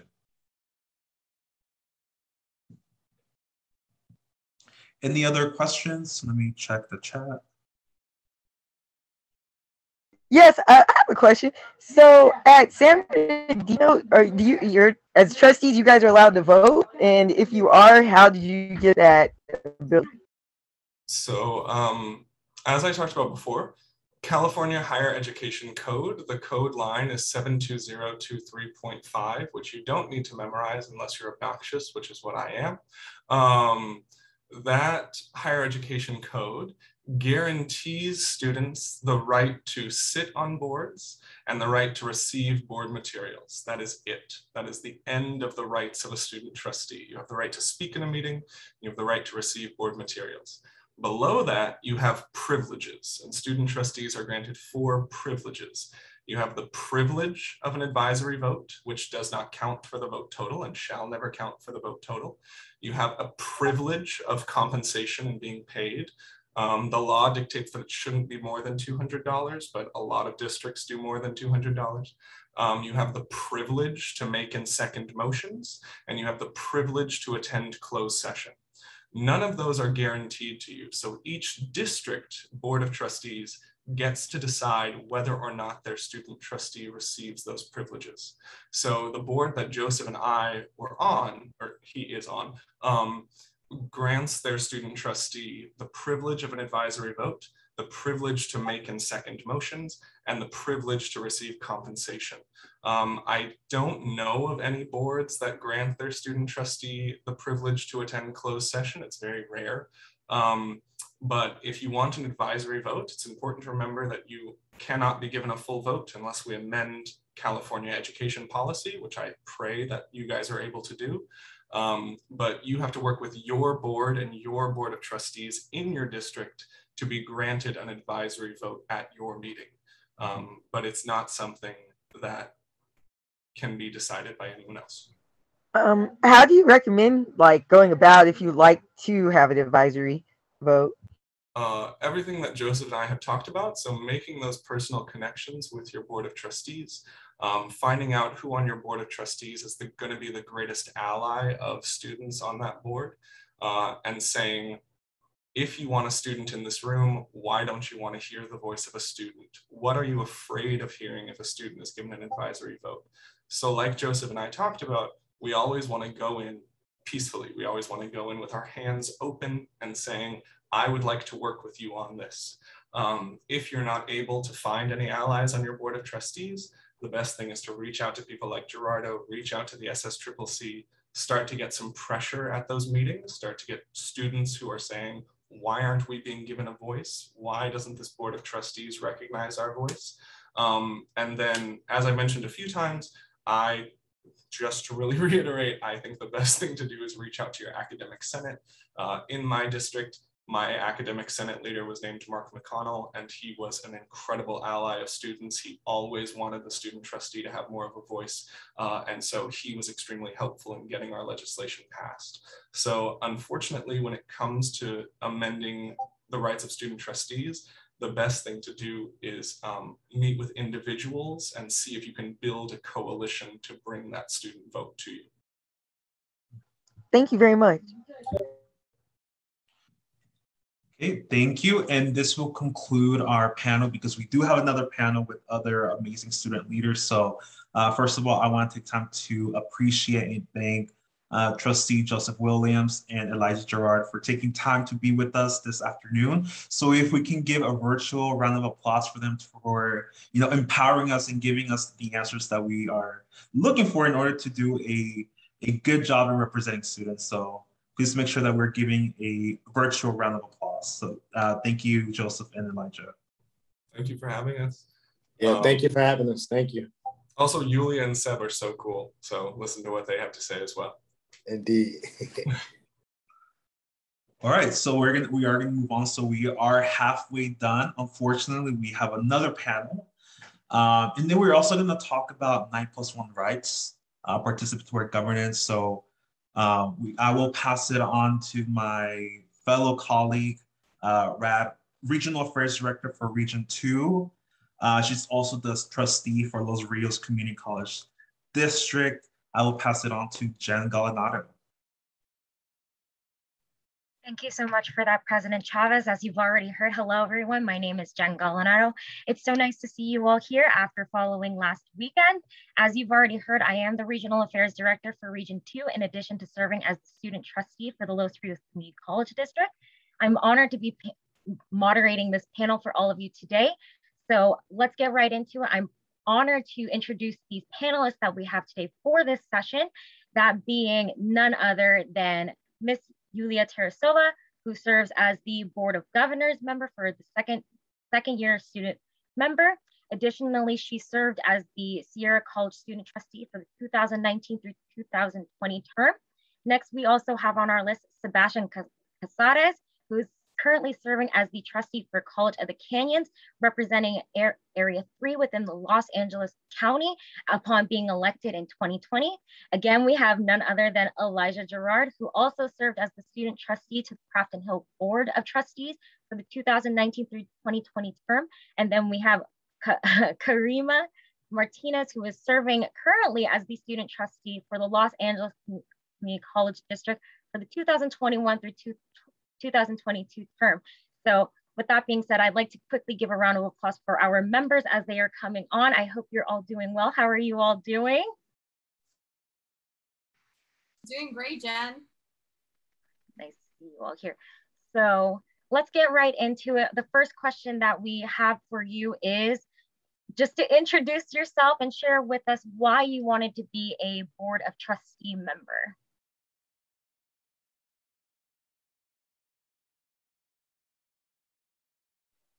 Is it in any specific order or? Okay, I'll go first. That's okay. Um, hello, everyone. So uh, my name is Coraima Martinez or um, Coraima Martinez, however you prefer to say it. Um, I am the LACCD student trustee. Um, and um, I have been with LACCD for four years. This fall will be my fourth year as a student. Um, and I actually attend East Los Angeles Community College. Um, I'm a first generation student and a political science major. Um, and one of the reasons why I wanted to be a board of trustee um, member is because I already had a lot of familiarity with the board of trustees, so I knew the importance of it. I have been highly involved with AFT 1521, which for those of you that may not know, is the faculty guild that um, represents um, our faculty and staff. It's our union. Um, and uh, I had been involved with the internship there um, for about two years. So I had worked closely with the Board of Trustees. I had advocated for students at the state level already. Um, I had been advocating for students at the class level. I had gave public comment at the Board of Trustees. I had had familiarity with with former uh, student trustees, so I knew the importance of it. I knew the effect, and I was very passionate about being able to help students and understanding that it's important that students that are that students are involved at the forefront of student-centered conversations, but that the students that are involved in this conversation are well-rounded and are effective in what they are communicating.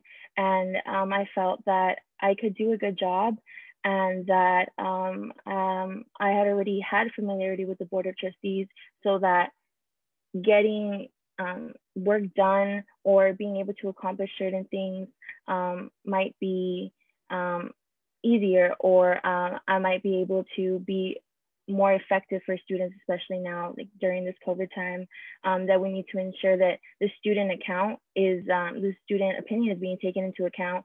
Um, I'm unaware how many of your Board of Trustee members might have um, handled the pandemic, but um, many, many of our districts and many of our boards didn't really take the student perspective or the student need into account in the beginning of the transition.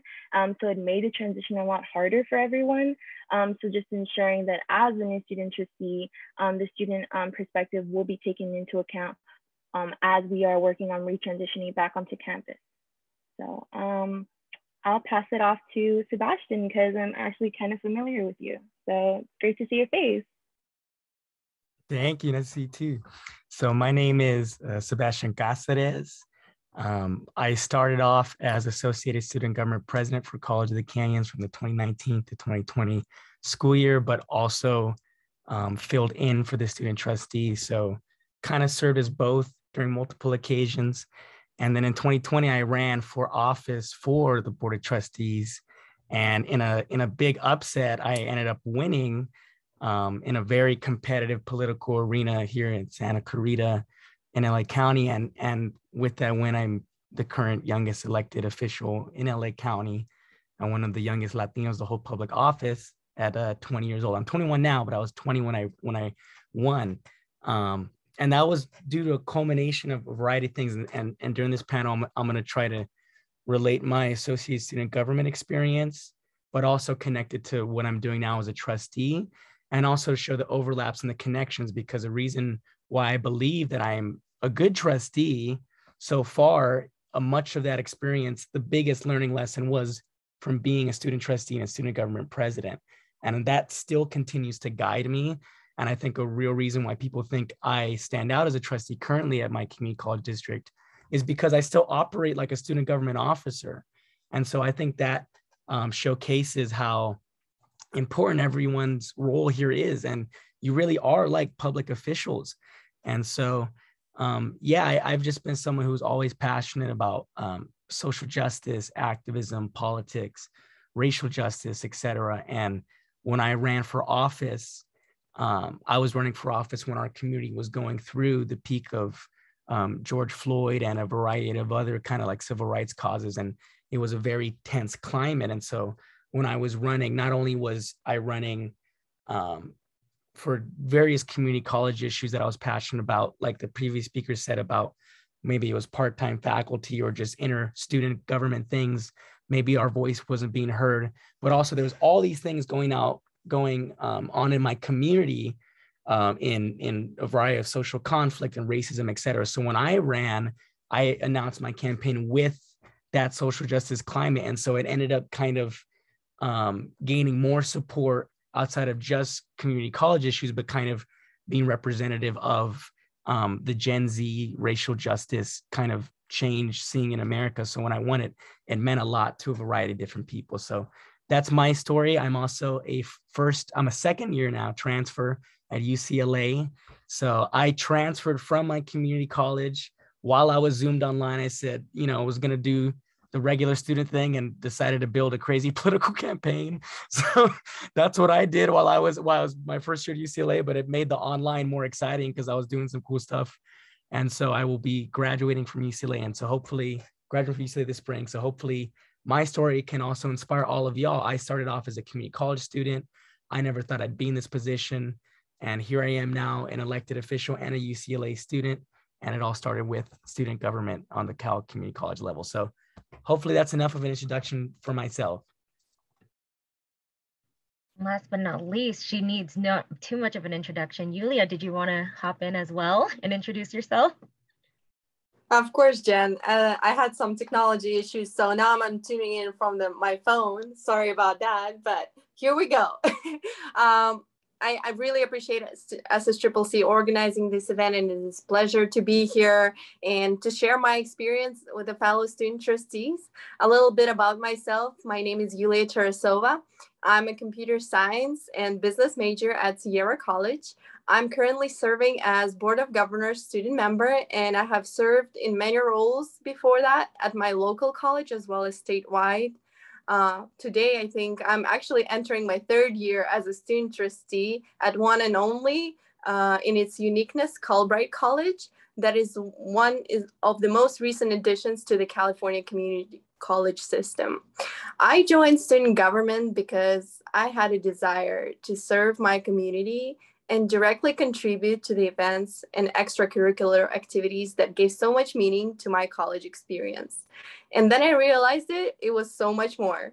And in each of the positions that I've held, which was senator, director of public relations, president of the SBA, I re- I learned a lot about the students' issues in campuses, but mainly how to identify and resolve the problems that arise within and today, I firmly believe that no system is more connected to economic opportunity and mobility than higher education.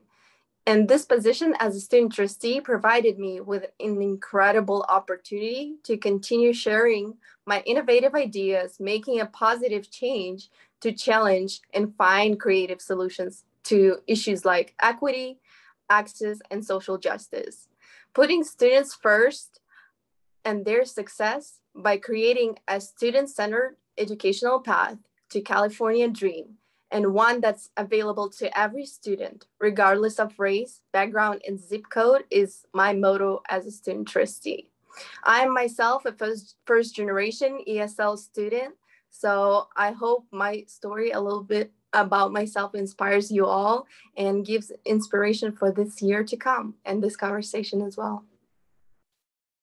Thank you so much for all three of your stories. And I, I believe with many of us, including myself, we can relate to those stories as, as we are holding our own positions as student trustees within our respective districts or colleges. So that kind of leads us in into our next question. Now that you've shared with us why you are, let's kind of dig into the nitty gritty about it as the student trustee. So if you don't mind, could you share one issue that you addressed while in your term as the student trustee? And with that being said, I'll kind of start with Yulia because she already kind of touched a little bit on it and then we'll go down from there. Thank you, Jen. Yeah, so as I mentioned before, my road to advocacy became as Sierra College Senator over few, three years ago now. And I have been a student in community college system for three years. And during that time, I have learned a lot about the students, faculty, and campus. And I learned how to identify myself and resolve the problems that arise within our community. Uh, my first year as a student trustee at Sierra College, I crafted a resolution to purchase laptops for a library because I just noticed the heavy traffic around the computer stations. It appeared to be forward thinking actually, and today the disadvantaged and low income students can access their homework at home during the pandemic thanks to that purchase. And uh, another thing that we worked on was promoting co-sponsoring the availability of feminine hygiene products for free in the most bathrooms on campus because uh, women on our campus had to choose whether they would get food from the food pantry or hygiene products that week from the uh, from Sierra College.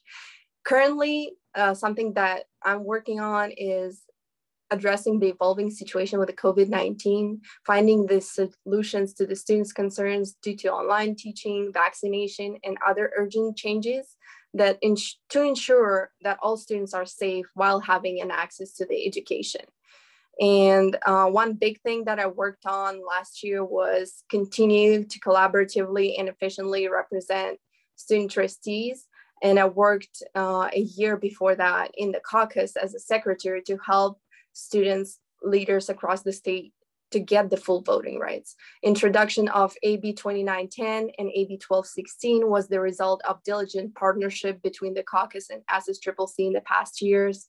So the advisory vote is there to ensure that students will not be represented equally at the table, and we try to change that. Hence, my, basically in everything that I do, my goal is to make sure that students' voices are heard, meanwhile making effective change. And as a student trustee, it is very important not to only respond to the calls of the community and students, but also start the initiatives yourselves. That was a great answer. Did anybody else want to tag in on that question as well? Sebastian, Coraima? So um, I, I think one thing that comes to mind and something that I've been that I found very unique in in my story and my um, path of advocacy is is the equity reforms that I've been pushing within my community college district, and I think I I found it to be representative of you know a lot of people do you know they lose faith in government, they lose faith in advocacy. They it's easy to get discouraged, especially if you're a young voice or a voice that is um, comes from a community that that might not see the representation that that that community deserves, et cetera. And so I I came in before, and it was it was before 2020 was was really going down, and and and we saw the, this whole statewide call to action and all these things. And I was uh, an advocate for equity in education, and I, I passed a resolution when I was in student government for us to um, be more proactive, us to recognize that we're a Hispanic serving institution. We are a student body population that was 50% Latino, Latina, Latinx, yet none of that diversity reflected in leadership, in, in, in a variety of things. And so I was pushing a resolution for that before um, I graduated from the college and finished my term. And what's interesting about my community, and I, I, I I am a proud Santa Clarita resident. I, I love my community.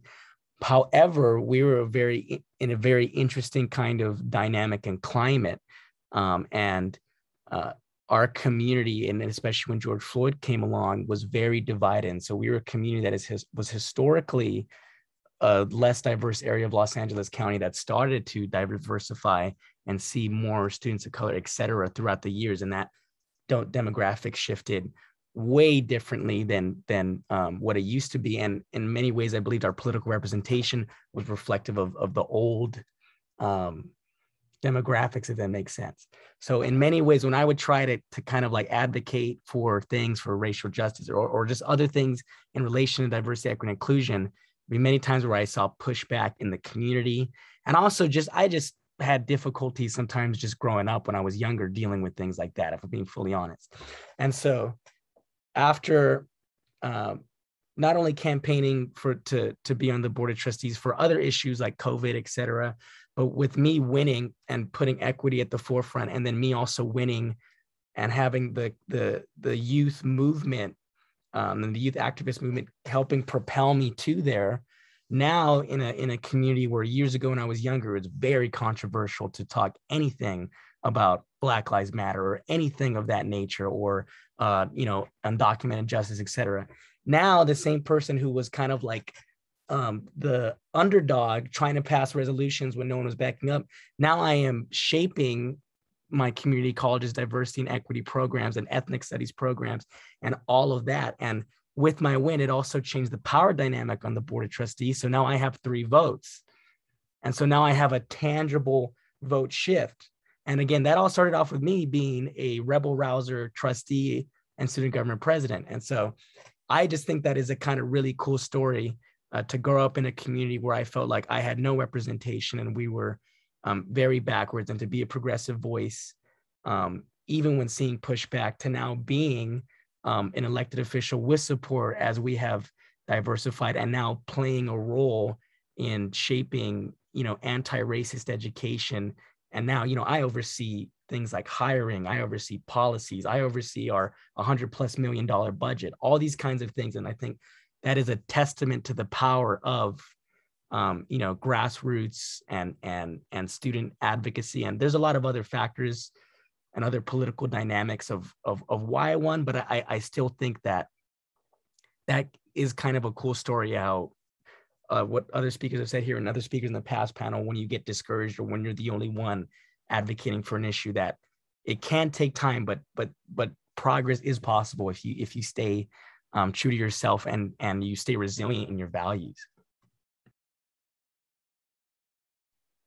That's great. So okay um i'm going to follow up that. Um so i do not remember if i announce this, but I'm the newly elected student trustee. So I've only been in this position for June. So um, sadly, unlike um, um, uh, Julia and, or Lulia and Sebastian, I haven't been in this position um, very long. Um, so many of the work that I have done um, has been before I was student trustee, but one of uh, the several things that I have been able to do currently is I mentioned that in the beginning, um, for my district specifically, um, our transition from campus to online to now um, to online was um, very difficult for students. And um, that is also one of the reasons uh, that has contributed to a, a, lower retention like rate and a lower like return rate um, for this fall semester. Um, so as a student trustee, I wanted to do everything that I could possible to try to address that and to ensure that the student voice was taken into account and um, the student opinion um, did hold weight with how we were going to move forward with returning onto campus.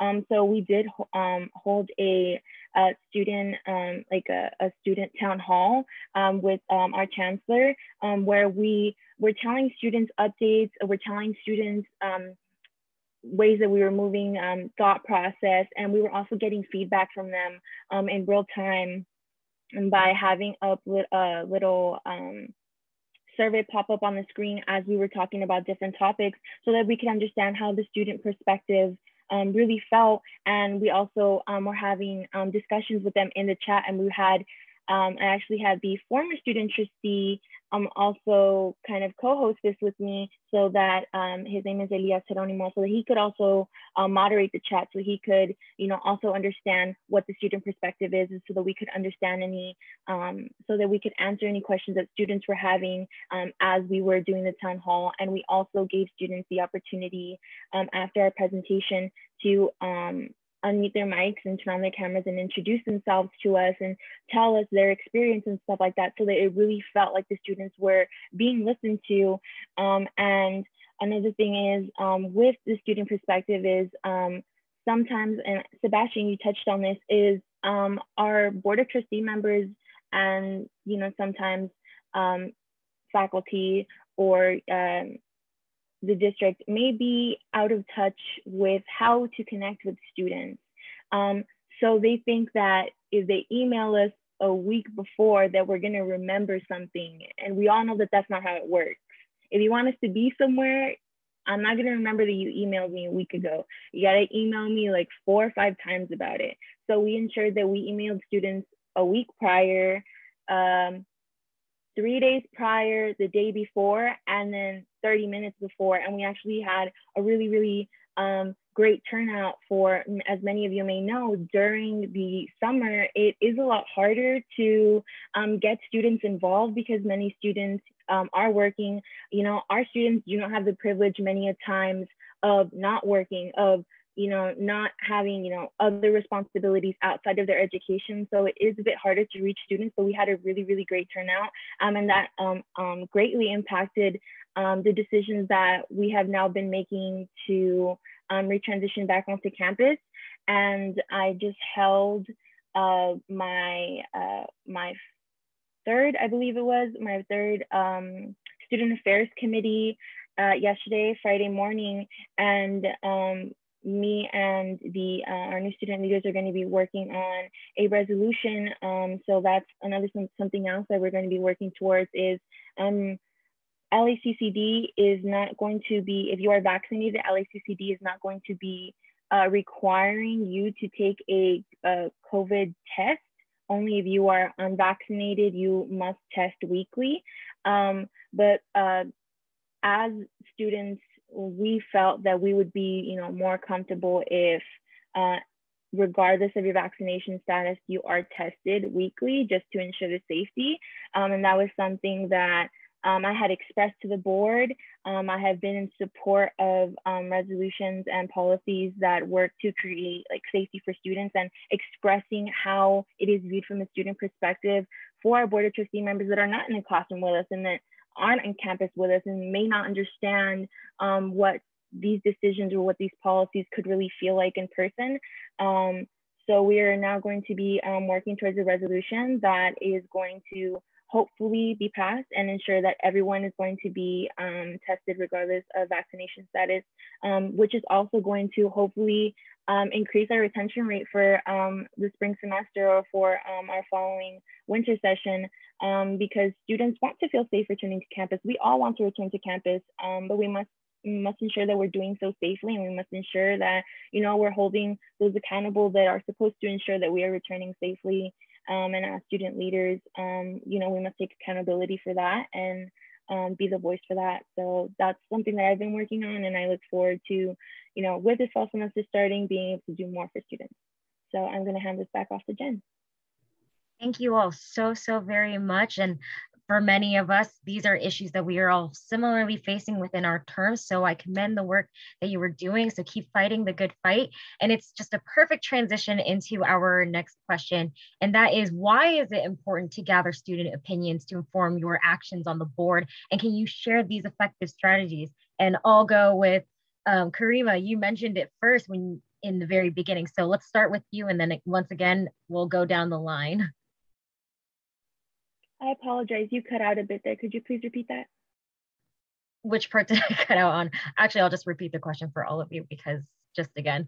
So why is it important to gather student opinions to inform your actions on the board? And can you share effective outreach strategies? We'll start with, with you and then we'll go down the line. So when you're ready. Thank you. Um, so that, yeah, as you said, um, that directly ties into what I just talked about.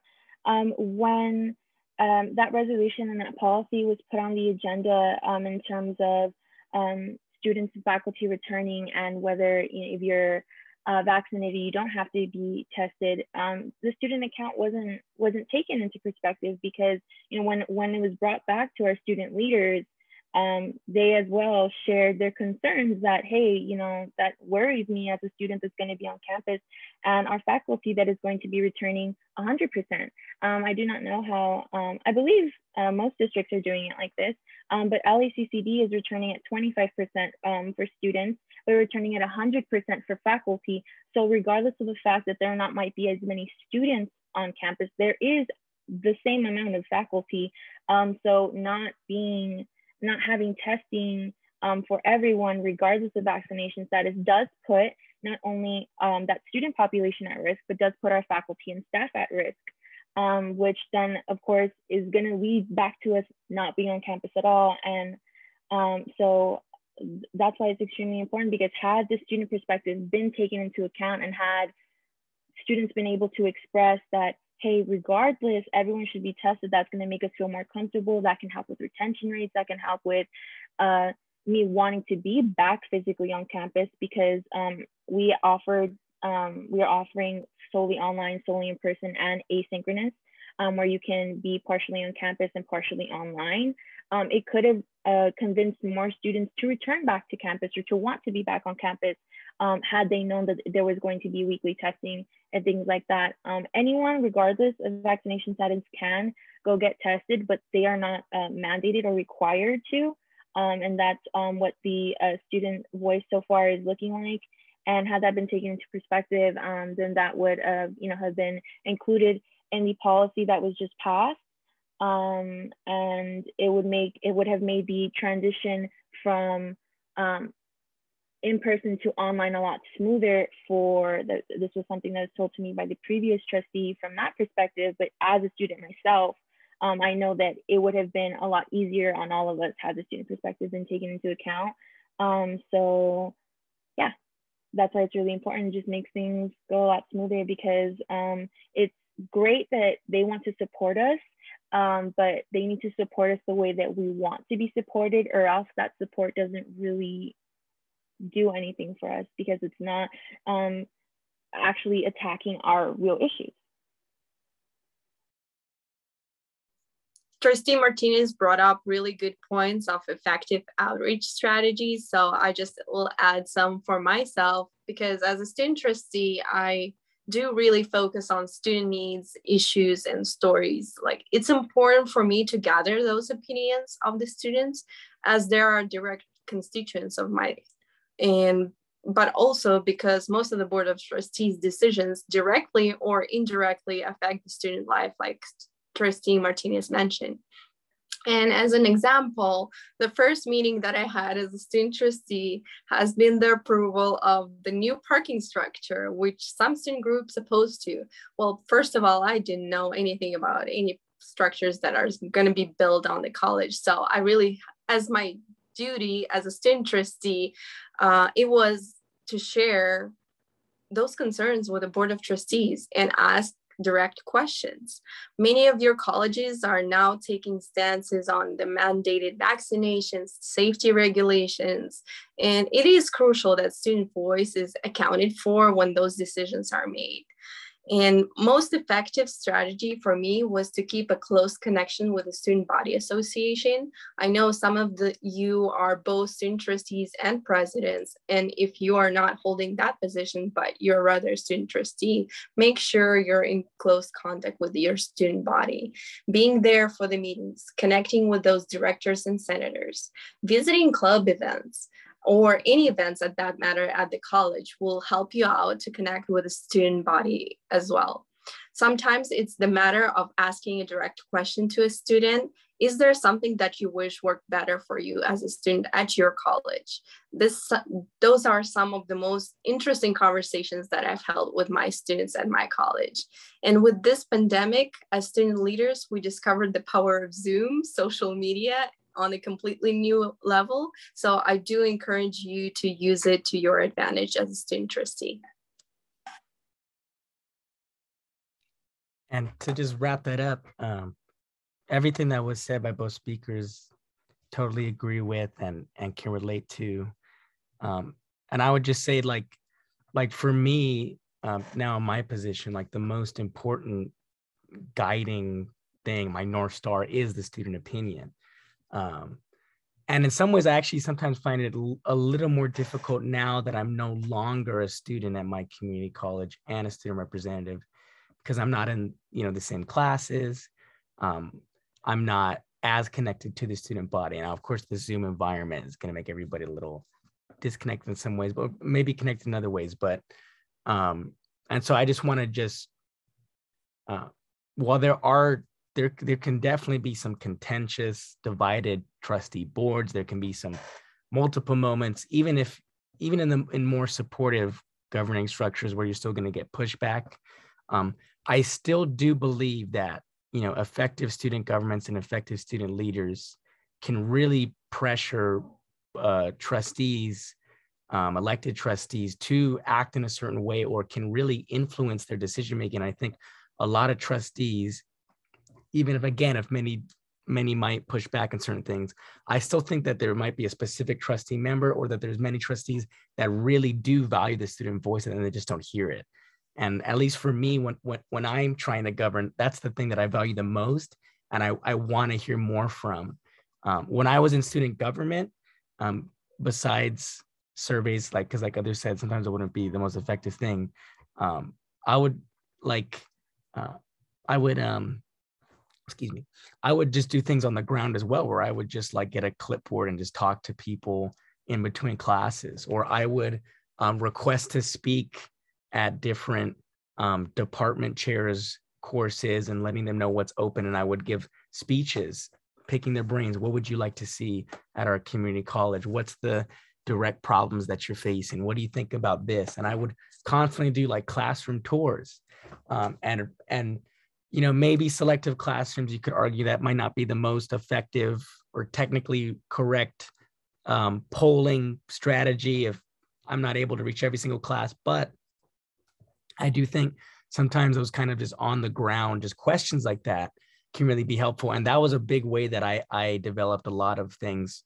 for my advocacy when I was in student government. So um, that's just some things I'd like to share and just to again echo that sentiment that that you really can I think shake some things up and really affect things. As I do think a lot of trustees do want to hear from the student voice, and so um, go for it. You know, um, so yeah, that's that's all I wanted to add. Thank you again for all three of you for how we'll, we'll, utilize the student voice when we're on this board as the sole student representative to the Board of Trustees. And it's, uh, again, for perfect for our last and final question. So for our panel, the final question being is what information do you consider to inform your opinion about board items? And Sebastian, you already kind of was going going into it. So let's go with you. And then again, we'll go down the line like last time. For sure. So um, I look at a variety of sources, but yeah, like what was said before, the number one thing that I love to hear is the student voice. And so anytime I hear the student government president or the student trustee give any testimonies, that's like what really um, is is uh, I was gonna say magnifying. I don't know if it's the right word. It's the most compelling thing to me. Um, and I also noticed that I feel like um, the dynamics have kind of shifted because as someone who was viewing the way the student uh, trustee would would act and the dynamics of the board and how you know with each year student government from 2018 when I uh, knew the officers then to 2019 to 2020 now 21 I feel like I've seen um, the student government almost gain more respect through my years at the college and I feel like there is a kind of shifting dy- dynamic to that um, to, and that kind of shows how um, I feel like the student voice has, has gotten slightly more powerful through the years, or or they'll they'll give testimonies during board meetings, and I feel like people are even more attentive than before, um, which is exciting, and that makes me think, what's the future going to be like if we continue to try to build as a student focused institution? Um, other than that, I I I, I look at all information. I'll I, i will read the news. I'll read national news. I'll read national higher education news. I'll read, you know, California specific higher ed. Um, I'll go on um, CalMatters and like different things like that. I'll, I'll be reading local news and, and local blogs.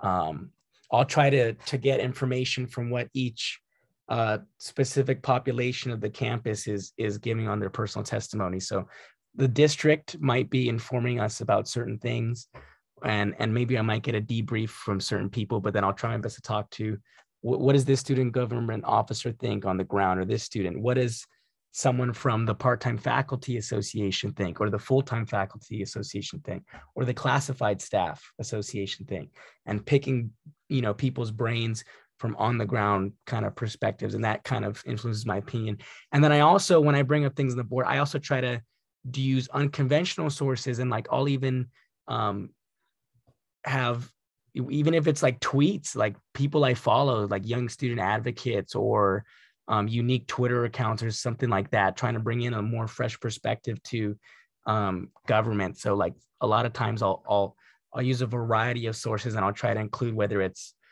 um, local news or intercommunity college things or, or personal testimonies, or even if it's kind of like unique student advocates on social media that you don't often see elected people reference. So that's kind of I try to get a pool of everything um, to inform me because even even though board items can be related to community college things, sometimes I feel like the board can even deal with even broader issues. You know, for example, I, I have to oversee um, our redistricting process. And to me, that connects to the national voting rights issues right now and gerrymandering, et cetera. And there's, we have very substantive debate going on about that. So I think that obviously community college students are the focus, but I think sometimes even these broader issues and, and broader passions going across the country or climate change and environmentally sustainable um, campuses, et cetera. There's a lot of ways that news and information across the board can inform what we're doing. So that's a that's my little speech. And then I think who's next? I'm sorry. Coraima, you're you wanted to go on this one too? Okay, yeah, sure. Um, so one thing is that um, although I am familiar with um, the Board of Trustees and I am a bit familiar with the agenda, understanding the agenda as a student trustee and then as, you know, a student who makes public comment in is a bit different. So I work with um, um, Betsy, who is our liaison, and I and she helps me break down the agenda, or explains things to me. Um, I work with um, uh, various people to explain things to me and to give me more insight. Um, sharing things with other student leaders as well, um, so that they can give me their perspective. Sharing things with um, I'm in. Uh, I've been a part of several like clubs on campus. So right now um, during COVID where it has been a bit harder to reach students, I've been turning to all of those clubs that I've been a part of, or clubs that I know that my friends are a part of and have been saying like, you know, what's this opinion or um, when I've needed like a survey done or things like that, or uh, needed information about how students felt, um, turning to those resources. Um, and as well as, as I mentioned before, I've worked with AFT 1521, which is our, as I mentioned, our um, our union that represents our faculty and our staff. So um, when they put items on the agenda, you know, calling calling um, one of the um, union members up, um, getting phone calls from them and them explaining why they chose to, to do this or or um, how it is as a student trustee and as a student, how do I view it and how would the students view it? Um, and that was actually um, I got a phone call like that about um, this, uh, the one of our, our past policies that was just passed um, that I've been mentioning for the testing and the vaccination is that um, some some people want, you know, of course, to get vaccinated, some don't. Um, so the faculty and you know the union came together and decided that, um, and then you know we had a phone call and I was like, wait a minute, you know, you didn't take the student perspective into account. And let me explain to you, you know, what's this, this, and that.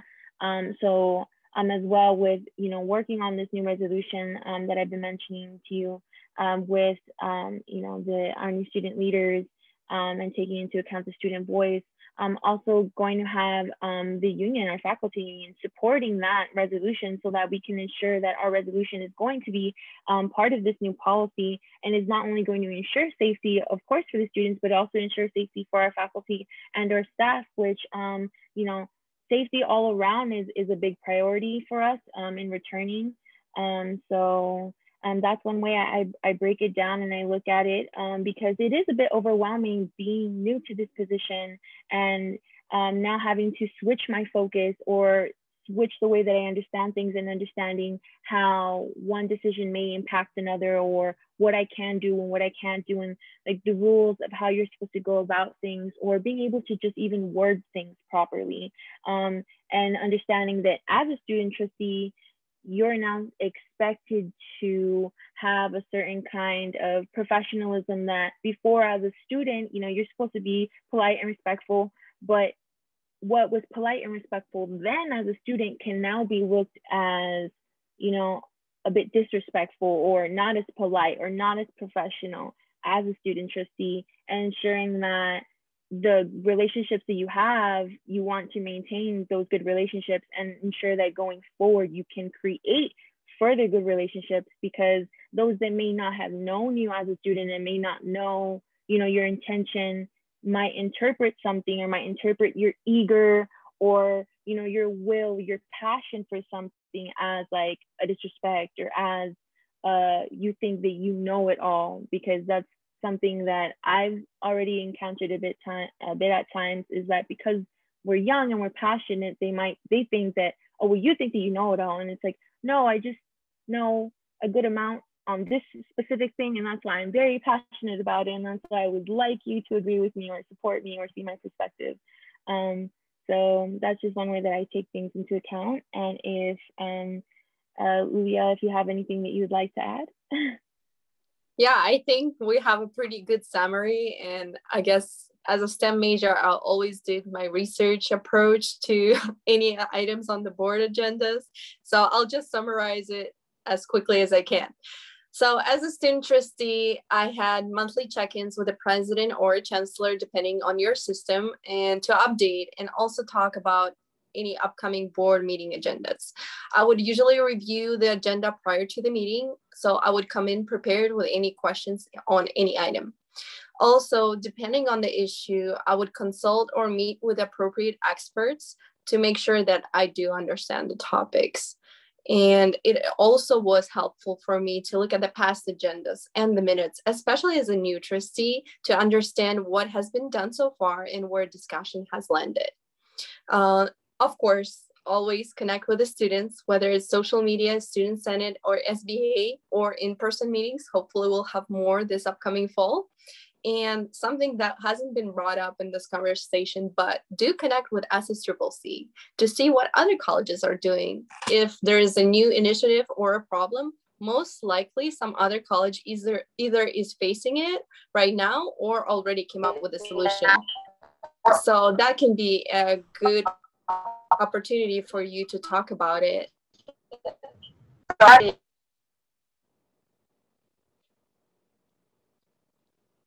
I don't know what was it, but I'm done.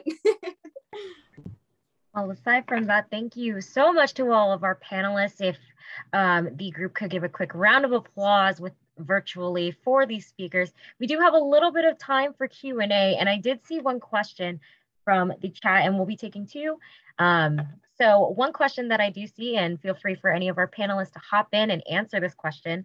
How is everyone's student body slash student government membership doing? It's only me and one other student senator, and I am nervous if this makes representing the student voice harder. Anybody want to start first? Yeah, I'll hop in this one because I kind of jumped the gun and I answered it in the chat. Um, but yes, um, um, at um, our student affairs committee, um, previously, our last two student affairs committees um, that I've held, um, it was still, uh, the colleges were still transitioning with um, the, um, the ASOs, the student um, bodies. So it was the people from the old position now switching in roles and stuff like that. so at this this past um, student affairs committee, it was now all of the newly elected people and stuff like that. So now everyone had, you know, info to, to really bring back and we, we were able to have, you know, some real conversation, get some real info out there. And I, I was, I, I, I, learned that many of, um, I, I, believe, you know, it might be uh, about three of our colleges in LACCD, um, their ASOs are struggling. Um, I mean, several of, uh, of them are, you know, struggling with members, but three of them are almost have no members. Um, and on top of the fact that, you know, LACCD, our enrollment has, you know, really dropped and we are, you know, one of, one of the biggest community colleges districts. So um, it's not uh, just you. I think it's just in general, just with COVID and just, you know, students worried about safety and things like that. And then um, with, um, you know, many of our colleges, especially my college, we have, um, you know, LACCD um, has been online, but LACCD only operated, I believe, at 10% or below 10% online. Um, so then when we had this transition, um, it you know it wasn't it wasn't the best for students so then students also you know don't want to come back because um, they may, may have had a bad experience um, with online um, and things like that. But I'm sorry, I lost my train of thought. um, can you repeat the question for me? Oh no, yeah, Ruby, right. Yeah, so Ruby, don't worry. It's not just you. Um, I think one of the things um, that the ASOs um, that have a decent um, participation have been doing is going to all of the new like enrollment events and looking at incoming freshmen and trying to get them involved um, because also uh, many times it's our students that graduate that have been heavily involved or that are about to graduate have been heavily involved in everything. And there's kind of nobody in line to take take after them, take on the position after them. Um, so they're really turning to um, newly incoming students as well because uh, newly incoming students um, are going to understand the struggles of a newly incoming student because these students have never touched the campus and you know are um, regardless if they're coming out of high school or not, there are even people that are choosing to come back to school now during this pandemic. So they also need that kind of support. Um, so I would just say if you're having that issue, is just going to all of the events that your college is having for enrollment, sign up days, um, programs that your um, um, that your colleges might have. Like um, we have something called EOPS, uh, which is a program that helps um, you know marginalized students. It, it gives like books and like book grants and stuff like that. So like programs that you know already have a big following and students that can be very passionate.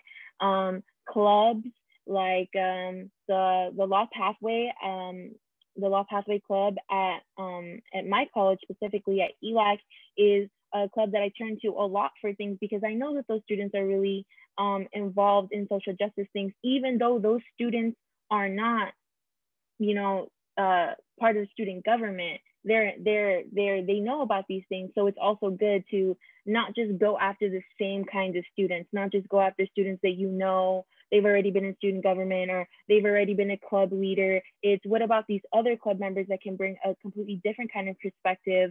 Um, and that might be one of the reasons why we're having um, such um, low rates in our ASOs and our student bodies is because all the students that were heavily involved in all of these clubs and stuff or whatever it may be have already transferred out. Um, so then these new incoming students or the students that were in the midst of COVID didn't get the opportunity to become those highly involved students. So we have to go out and we have to seek students. Um, and so I just wish you luck and understand that you're doing the best that you can.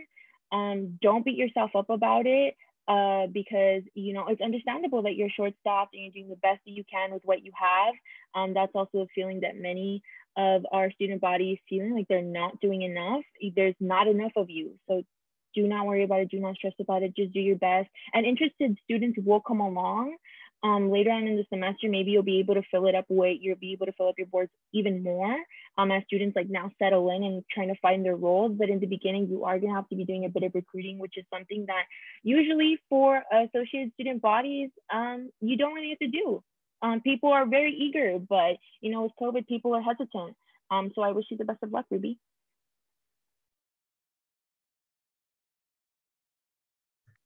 I'll go to you, Sebastian. I saw you on mute. I'm just gonna add one quick thing to that, and and Trustee Martinez like summarized that almost everything I was gonna say. But one thing that comes to mind because there will be moments now, um, and there's definitely is a, de- a, decline in in participation, but there'll be even moments in my role where I'll feel like I haven't heard opinions from certain people. I don't have information what's going on on the ground, but I have to make a decision or vote and I'll feel like, you know, worried or, or anxious or concerned. Um, but one thing that comes to mind is trustee, right? So you are a trustee. The the the legal and and um, past history of the word trustee is like someone who is entrusted with something in a way kind of like a representative but it's like someone who is trusted to make those decisions for others and so what i'm trying to get with that is that um, I feel like sometimes we can it can be concerning if you don't hear other opinions or or if you feel like um, there's not enough backup. But I think that there is something powerful in in, in recognizing um, the kind of power of your role in being a trustee. That it's like sometimes you'll be able to make decisions, or you can be a leader. You'll be able to speak to the best of your ability for others, and that's kind of part of your role. That you don't you don't it's okay that in some ways you're not going to be able to have a public consensus from like thousands of people or something. In some ways, your role is like you're kind of were elected and we're trusted there with the intention that you are a leader who can make those decisions for others, even if you're not going to be able to always hear everything. So I hope what I'm making is I'm hoping I'm saying is making some kind of sense. And so I'm, I'm just trying to get at that. Um, there is there is something um, powerful or just something important in being confident in and and recognizing how important your role is and that and that you are qualified for that position and that you have all the um, you have so many skills and so many perspectives that might be downplayed but like when you voice them that are are not at all talked about in board meetings or, or that people are completely disconnected from because they haven't been a student in 10 20 30 years or something like that. So like i think that there's so many experiences that you have as a student and you being in your role that gives you that kind of merit to make decisions um, even when you know it might feel like there's not as much engagement. So i hope i hope that kind of made sense what i was trying to get out there i just wanted to add that to this question I hope that answer. Oh, go ahead, Yulia. Yeah, I'm sorry. I have to make a comment because this is my district, Sierra College, Wolverines Go. Uh, I served on that board and it is a fantastic board, Ruby. You're so lucky. And don't feel pressured. It is important that you are a student trustee. So you do represent the students. Like Sebastian said, you have vested trust in you. But also, uh, I do understand as a student trustee your um, worries about not having enough senators, not having enough directors for all the things that you want to accomplish this year. And one piece of advice I have for you is try to join classrooms, like reach out to professors, try to have a few minutes to speak about your student senate. I do know a lot of faculty from here who are very uh, involved in academic senate, so they would happily provide you space uh, to speak up on that. And hopefully uh, we can increase the engagement like that because right now I'm serving as a student trustee for completely online college. So I'm right there with you. We're trying to ramp up a student organization at Calbright as well. So best of luck and let me know, reach out or for any of you, any student trustees, I'll drop my email in chat. If you have any problems or issue you would like to get your advice on, I'll be happy to contact you and chat with you about it. Once again, thank you so much to all three of our panelists for being here and answering these questions. I do recognize there are some other questions in the chat, but we can always hold them off for open forum for later on. You'll have the chance to answer them. And with that being said, thank you so much once again to all of our panelists for being here. Everyone give them a round of applause as they're amazing human beings. I hope you get a chance to connect with them. And with that being said, that concludes this segment. I'll be passing it back over to President Chavez to move on forward. Thank you. All right, thank you so much, uh, Jen, for moderating the panel, and thank you to our uh, amazing panelists for taking time out of their Saturday afternoon uh, to be able to empower us with their experiences and their uh, knowledge. So we are very thankful for them, and hopefully all of you are learning uh, and taking some notes on uh, some of the advice that are given. so we have one more last segment. Uh, we are in the end game now. Uh, Avengers pun attended.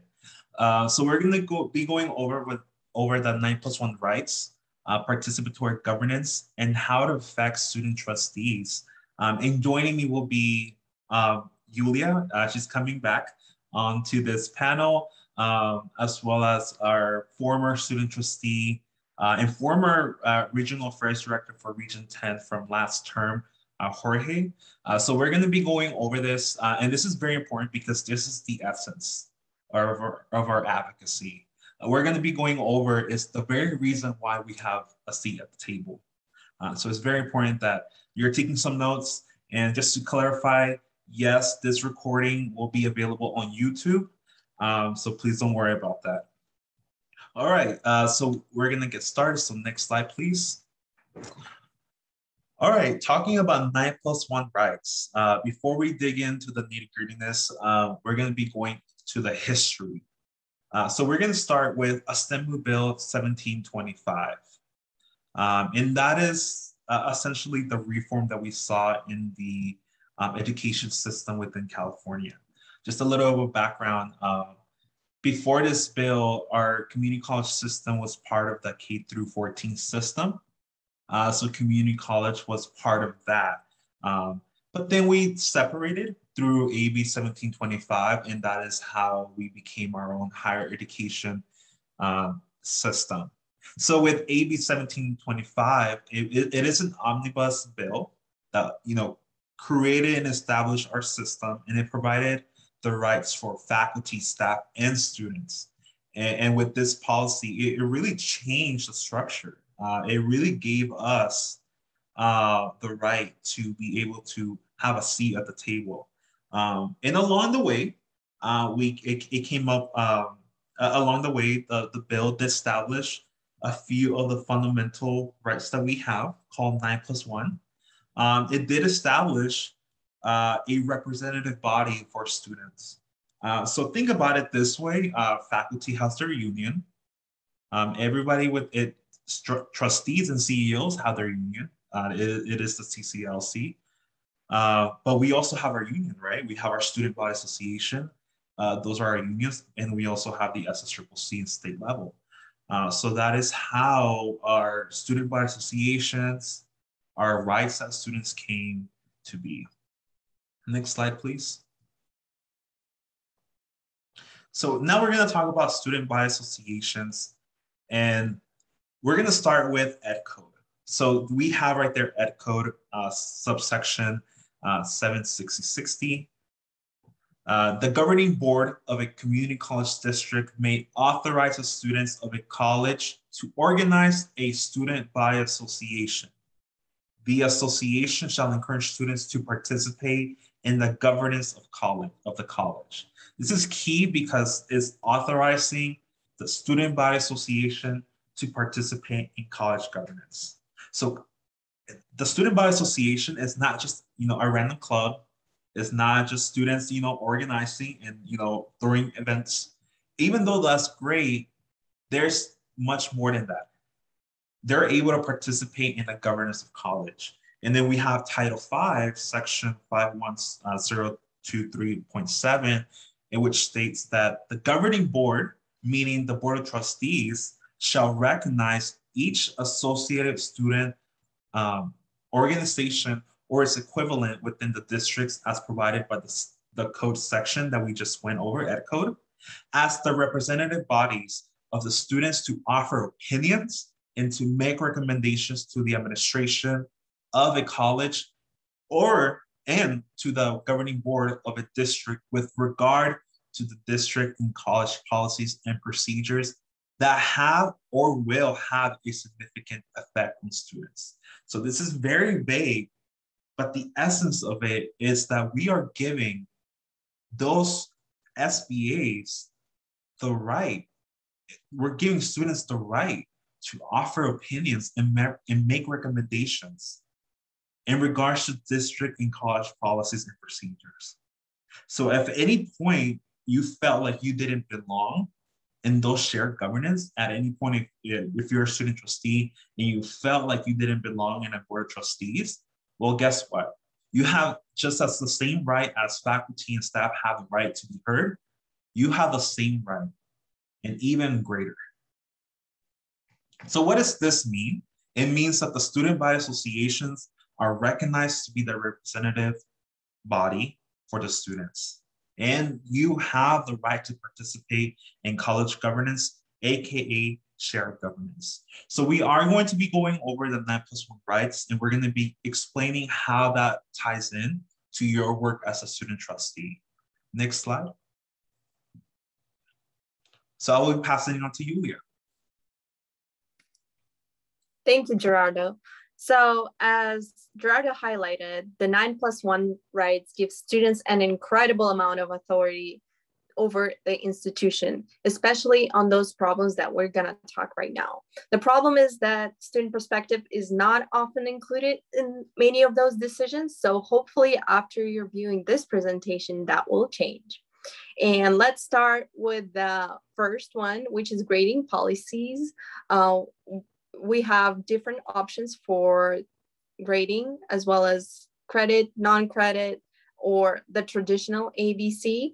Uh, something recent that pass no pass policy during the pandemic was leveraged and further adopted across the state. And this very conversation in regards to pass no pass policy being adopted has started actually at SSCCC when multiple student leaders from various colleges brought up this concern.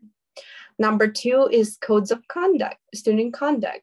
Have you ever seen it? That's my question. If not, I do encourage you to look it up on your college's website and ask to review them. So you are empowering your students to know what is actually the student conduct.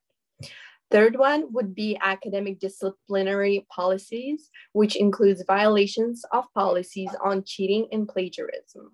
With the COVID, this concern has been brought up multiple times, whether it was exams, quizzes, and as the student trustee, when I served in my role, I got the opportunity to participate directly in the review of the cheating and plagiarism policy.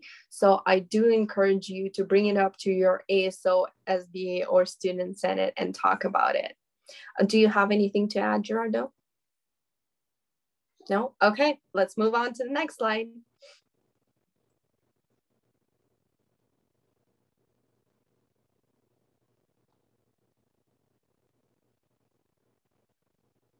Was it changed? I cannot see it. Yeah, next slide, please.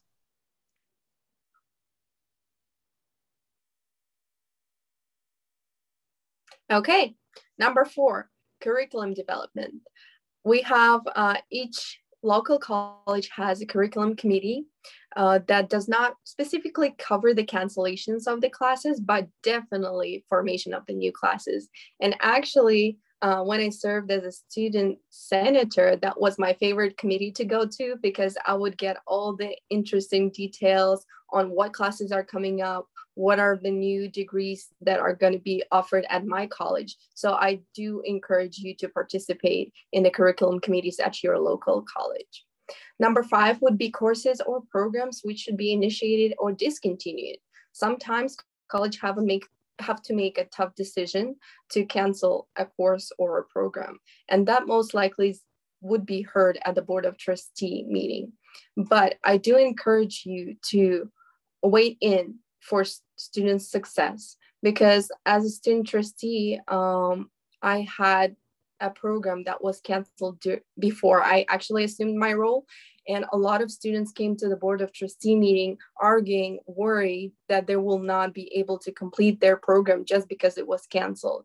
And because the students show up, the administration took the decision that those students who were currently enrolled in the program, they would be able to complete. So the college would continue offering those classes until all the students who already declared their major would be able to complete their degrees. So it's really important that students weigh in on those decisions to ensure that students' educational path is not interrupted. And that's it for this slide. Okay, do you want me to move on, Gerardo? Yes, I think this is my slide. Yep. yep. All right, thank you, Julia. Uh, and I, I just want to make sure that we're all on the same page uh, when we're talking about nine plus one rights, think about it like your Bill of Rights from the Constitution. Uh, so everything listed here, you have a right to participate. You have the right to be in these discussions. So uh, with number six, processes for institutional planning and budget development. This is very important because uh, in the statewide level, there is a system in place on how each college uh, receives their funding. Uh, now it is beyond just population. Uh, we have what is called the student senate, uh, the student centered funding formula.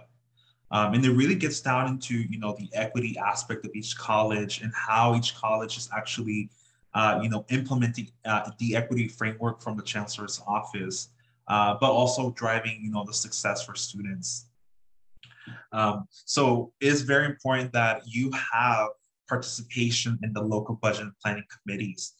Uh, because, for example, if your uh, uh, disability uh, center or your veteran center is underfunded, that is where we can have students, you know, advocate to increase funding or bring awareness on certain some of the areas of your campus that are not receiving proper inadequate funding.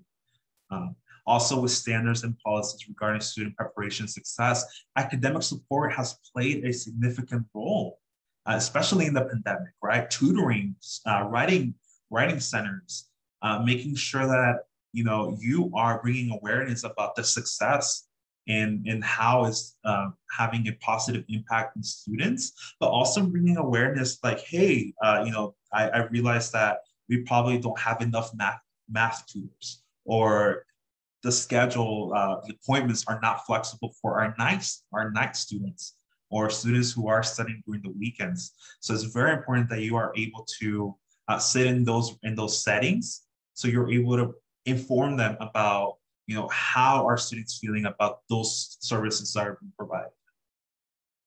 Number eight, very important because we're talking about you know transfer. Uh, web pathway is appropriate for student student services planning and development, uh, counseling. Very important that you are able to provide feedback about counseling. Um, are there enough counselors in your college? Um, are counselors being friendly? Uh, are they uh, well equipped to answer questions about transfer? Uh, assessments. We're talking about uh, maybe maybe this is the first time that you've heard of it, but uh, Assembly Bill 705 uh, equitable placement. We all know that uh, prior to uh, 2018, students were required to take a placement test, which led to students taking more remedial courses and delaying transfer. Uh, I can I can speak from my own experience that I had to take remedial courses, and I had to take 20 plus units just to prepare me for those classes. And guess what? With AB 705, I got rid of it, and I still had to take those classes, and I did better than what I did in my remedial courses.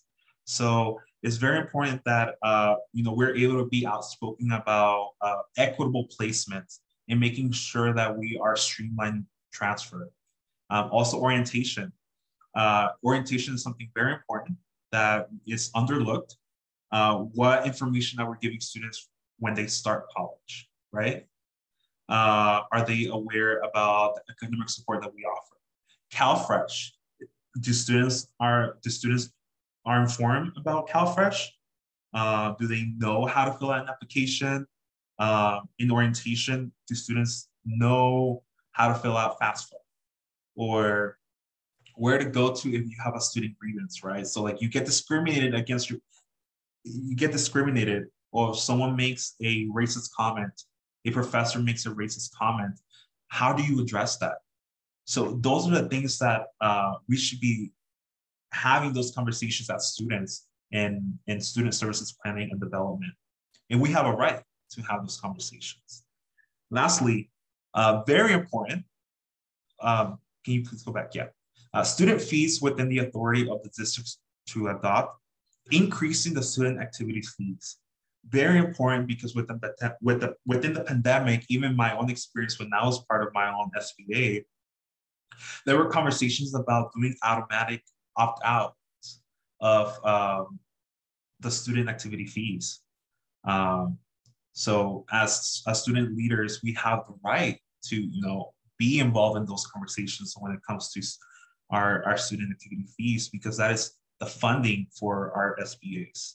Also parking fees, this is very important as, as, as colleges are opening. Um, I, I know within my own district with RCCD, um, the parking fee has been waived. Uh, so whenever you know there's a committee talking about whether they are considering waiving the parking fees or not, hey, as a student, bring in you know what what are students wanting uh, hey, students would like the uh, parking fee waived because it is easing the financial burden. Um, that is where we are able to have those conversations. And then lastly, the health fees. Um, mental health is something that we have been addressing uh, even before the pandemic, uh, making sure that we are increasing uh, the mental health counselor ratio on our campuses. So we have the right, we have the right to have to be in these spaces uh, when we're having those conversations with college administration, faculty, staff, board of trustees. Next slide.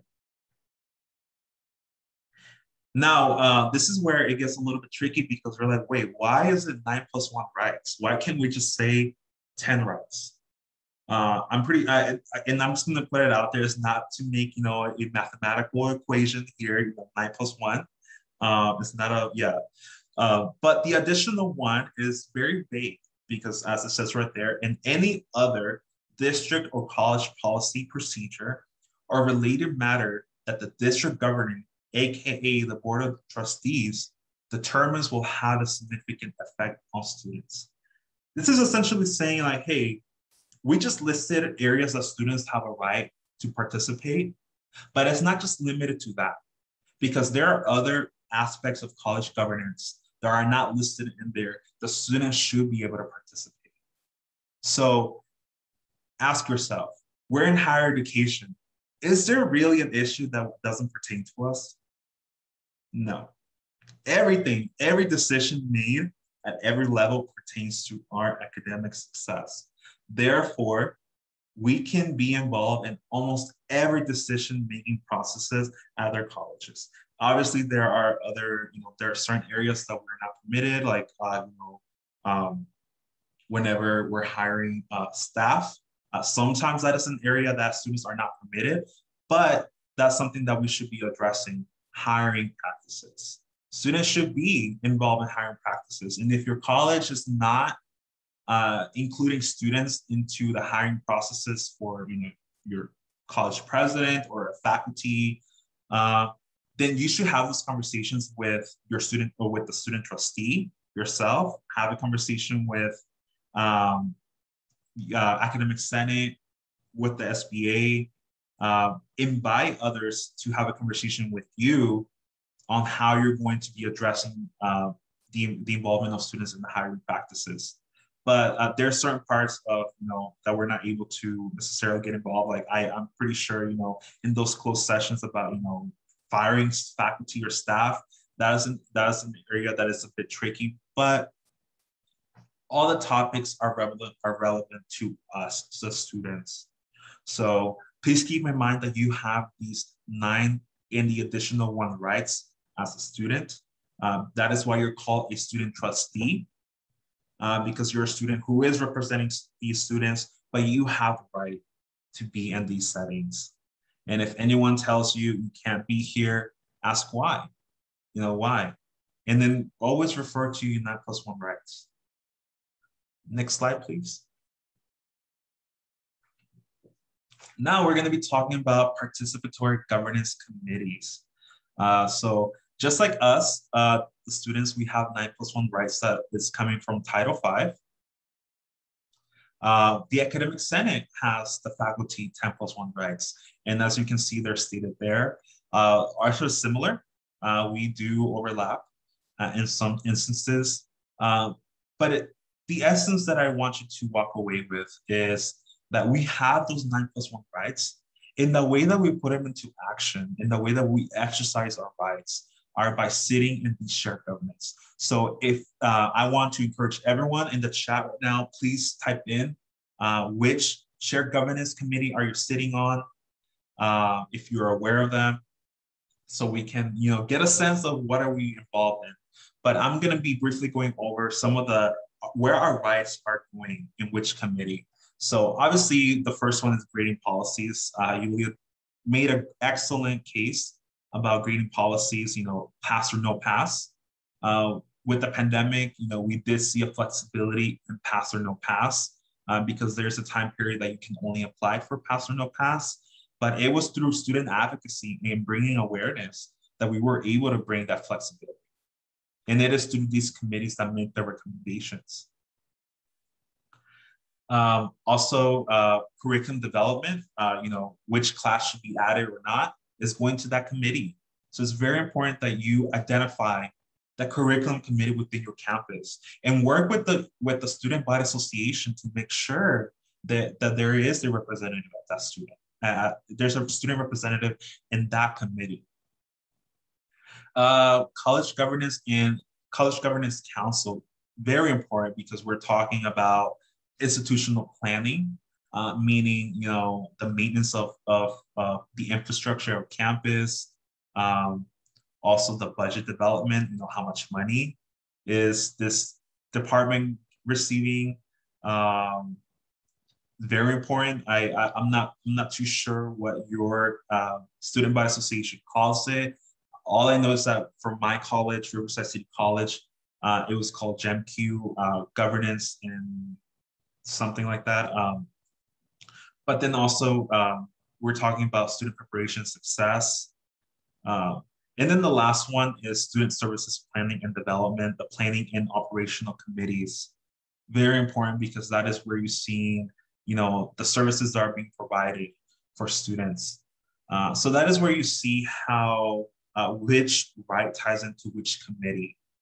Um, and it's also a great way to know like, hey, I'm interested in grading policies. I'm interested in committee. Maybe I should go to, you know, curriculum committee because I'm very passionate about that. Uh, but also whenever, uh, as, a, as a student trustee, uh, when you see recommendations coming from a committee, uh, then always be on the lookout if students were involved in that, in, in that process. Um, but I also want to encourage you to make sure that you are attending academic senate.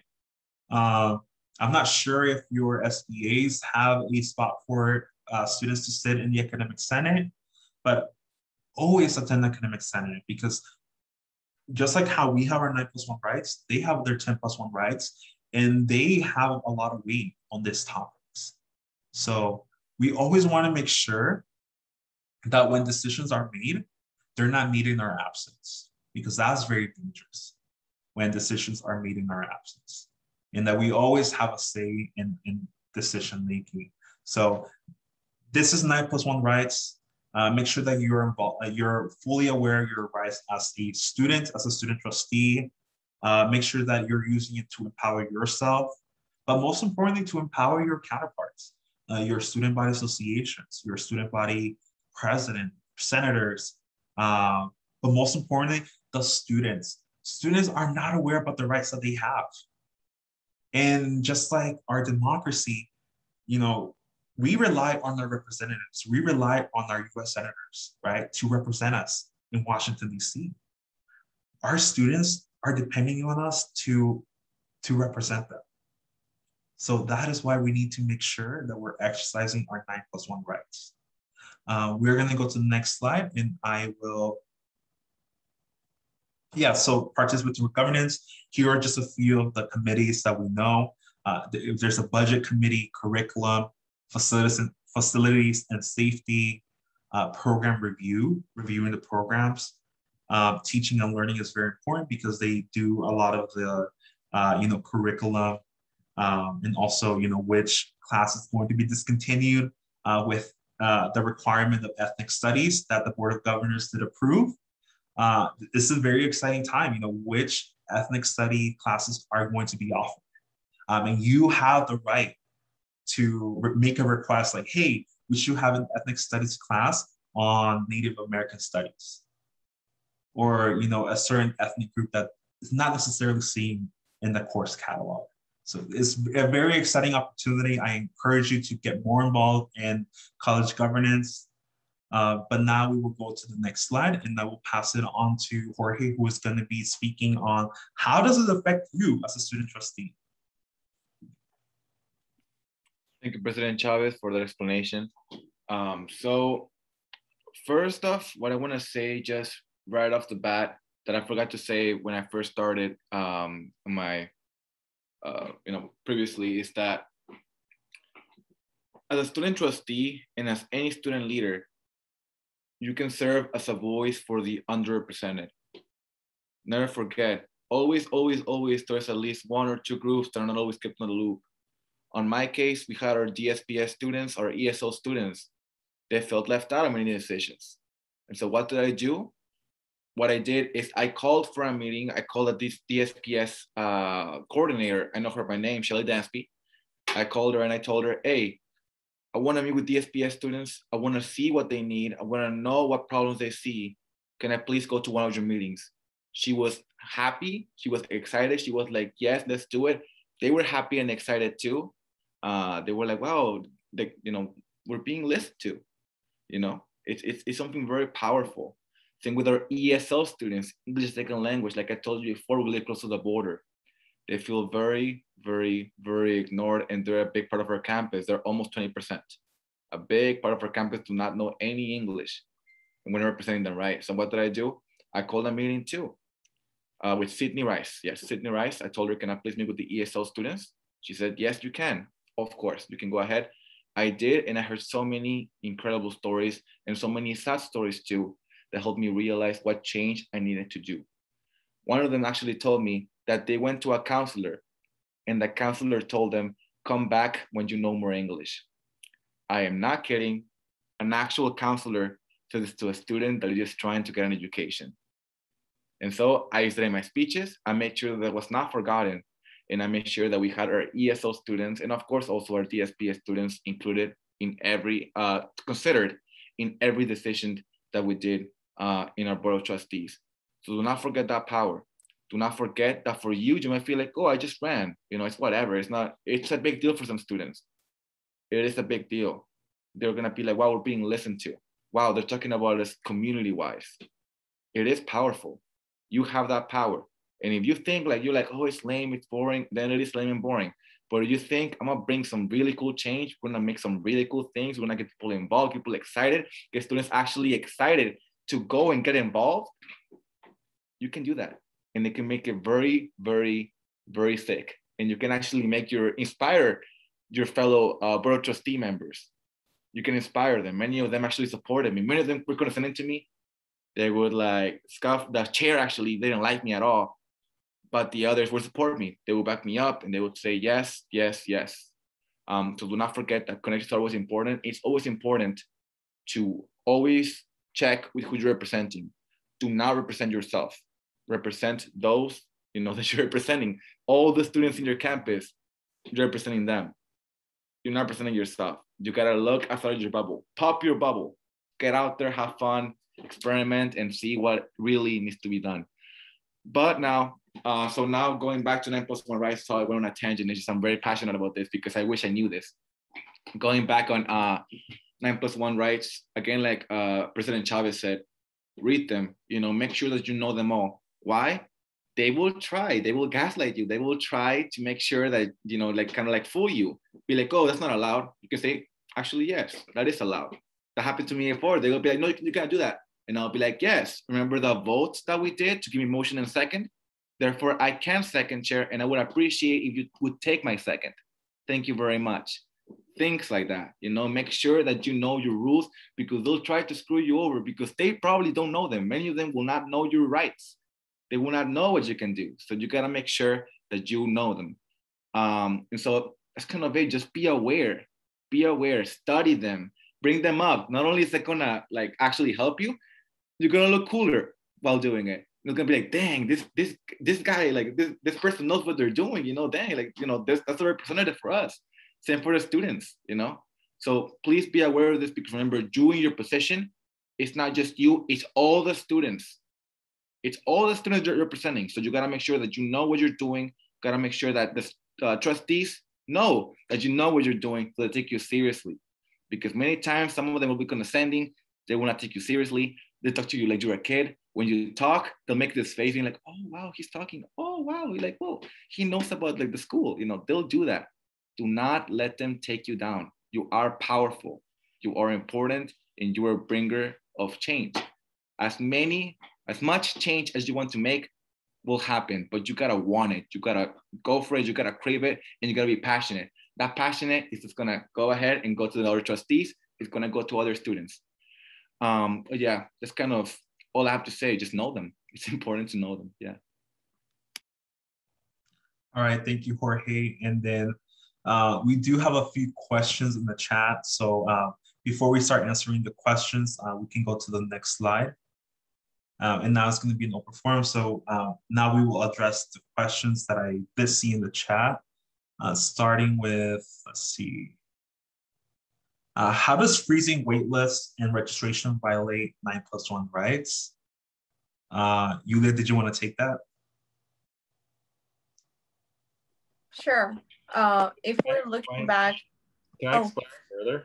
So uh, freezing yeah, wait, freezing wait lists and registration is something common, but what my district did is they they sent out a public email uh, to students about it. And then in the beginning, they added due to COVID, all class wait lists and registrations will be frozen effective. And then they said this applies to all classes, face to face, hybrid, or online.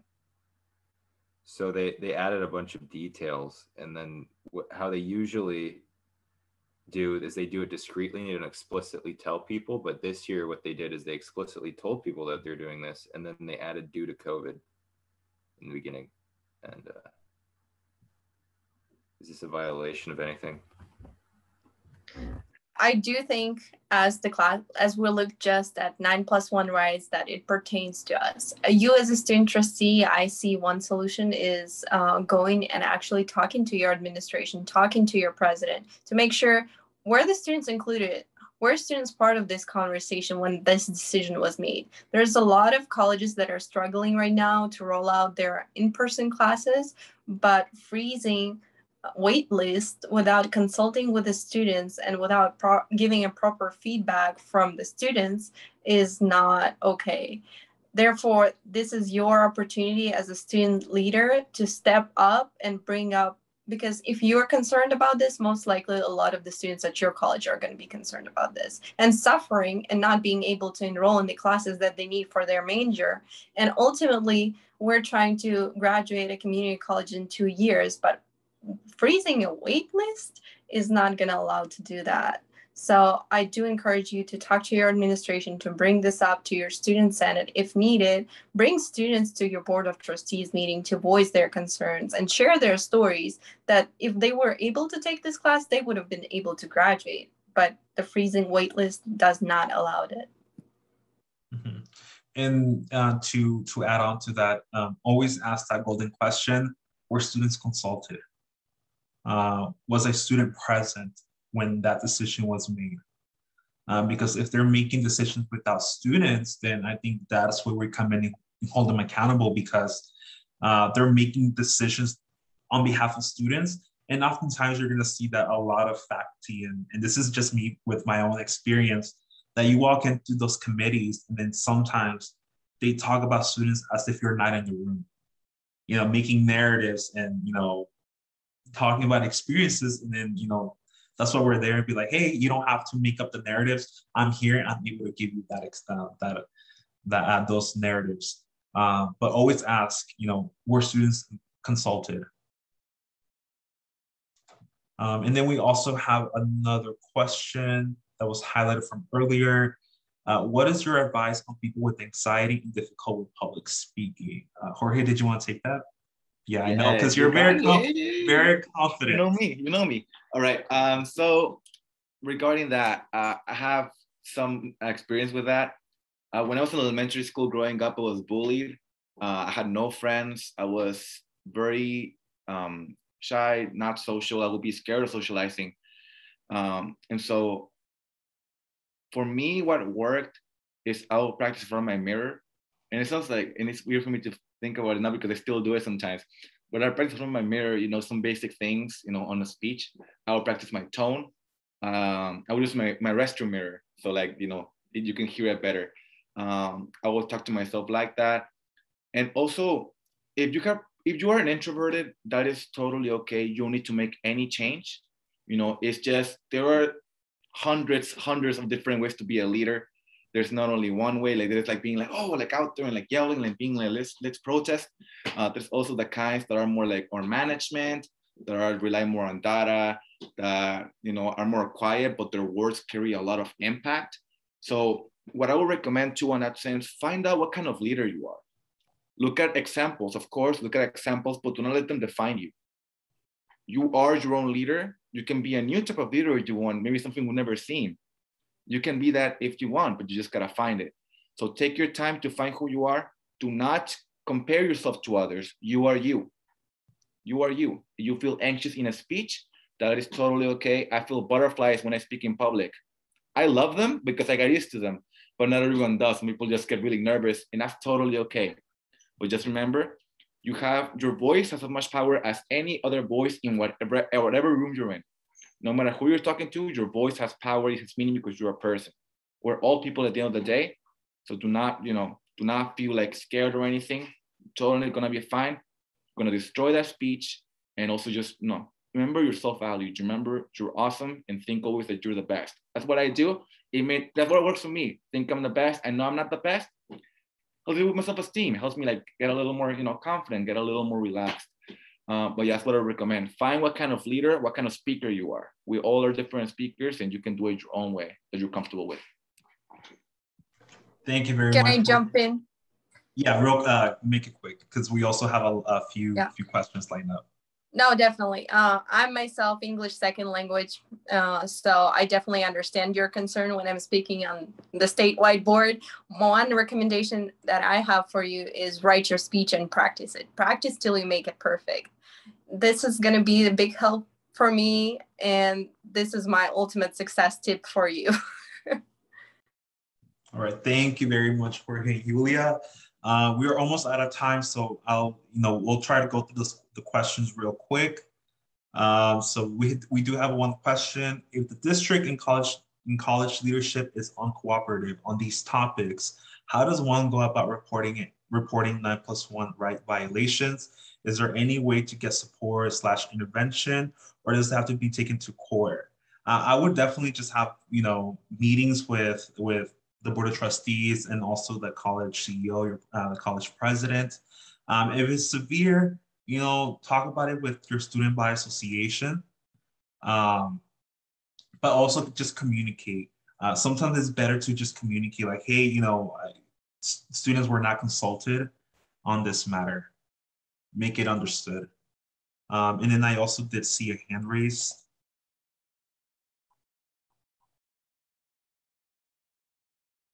Okay, I don't see a hand raised. Um, are there any any other questions that anyone has? Or any any other comments? Can I speak for one moment? I hope it's not inappropriate that I'm here with you. I've been sort of involved with the Student Senate uh, in the prior year. My name is Joey Forsyth. I'm the person who put that in the chat. If you can't open the document, please tell me. I always have problems with Google Docs. I'm obviously older than you and I'm a Luddite. But I'm here because, first of all, this was an awesome meeting. You are just the most incredible young people. And it's one of the reasons that I work on what I work on. I'm a filmmaker, I'm an artist. This is not what I planned on doing in my life. But my husband was a dean at Pasadena City College. I got to know the community college community and I love all of you students. You're so amazing. I want you to run this country. So I am reaching out to you because this law that was passed a year and a half ago by students like uh, yourself. Unfortunately, I, I this is not the appropriate event for that, but if you want, you can leave it in the chat and then we follow up with the student trustees. Okay, if you, I just, my name, my uh, email's in the chat. Please reach out to me. I'd love to help all of you. Thank you. Or you would right, help. Thank, thank you, Joey. Thank you. All right. Thank you. you. Bye-bye. All right. Uh, any last questions before we move on?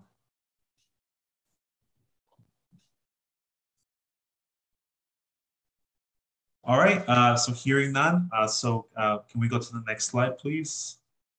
All right, so we do have a few upcoming events. Uh, we do have our professional development and leadership event uh, that is occurring in person and online. Uh, it is October 1st to the 3rd, so it is coming up. so make sure that you're having conversations about uh, our professional development and leadership event with your SBAs if you're able to make it in person. If not, that is okay because we are going through a pandemic. So uh, there are, you know, a few hurdles along the way, but it's also available online for you to attend. Um, the question that we've been getting a lot is when is the Student Trustee Caucus meeting? The Student Trustee Caucus will meet next Saturday, October 28th at 6 p.m. Uh, so I will work with the, uh, with the caucus committee to make sure that we are sending out the information. Or not October, my bad. Uh, August, August. Yes, so that was a typo on my end. So it is August 28th, 2021 at 6 p.m. So just to clarify, it is going to be next Saturday. Uh, so please make sure that you mark your calendars uh, and we hope to see you there. Uh, remember what we talked about in the beginning. The student trustee and franchise movement is depending on you, uh, on your participation. Uh, you know, we're working together to make sure that you are able to, uh, you know, get a vote. So please make sure that you attend. Um, and then I also did see a question in the chat. Uh, how do I contact to be more involved with the SSCCC? Uh, you can email me uh, at president at ssccc.org. And I'd love to connect with you and see how you can get involved with the SSCCC, whether it is to the Student Trustee Caucus or even within your region. Uh, we do have a lot of vacancies. Uh, so if you're re region one, uh, region region three, region four, there are a lot of vacancies in those regions. Region six, we need people there, and region five. Um, we do have a lot of vacancies available and opportunities for you to get involved. So with that said, uh, this concludes our, our, our uh, event for today. Uh, next slide.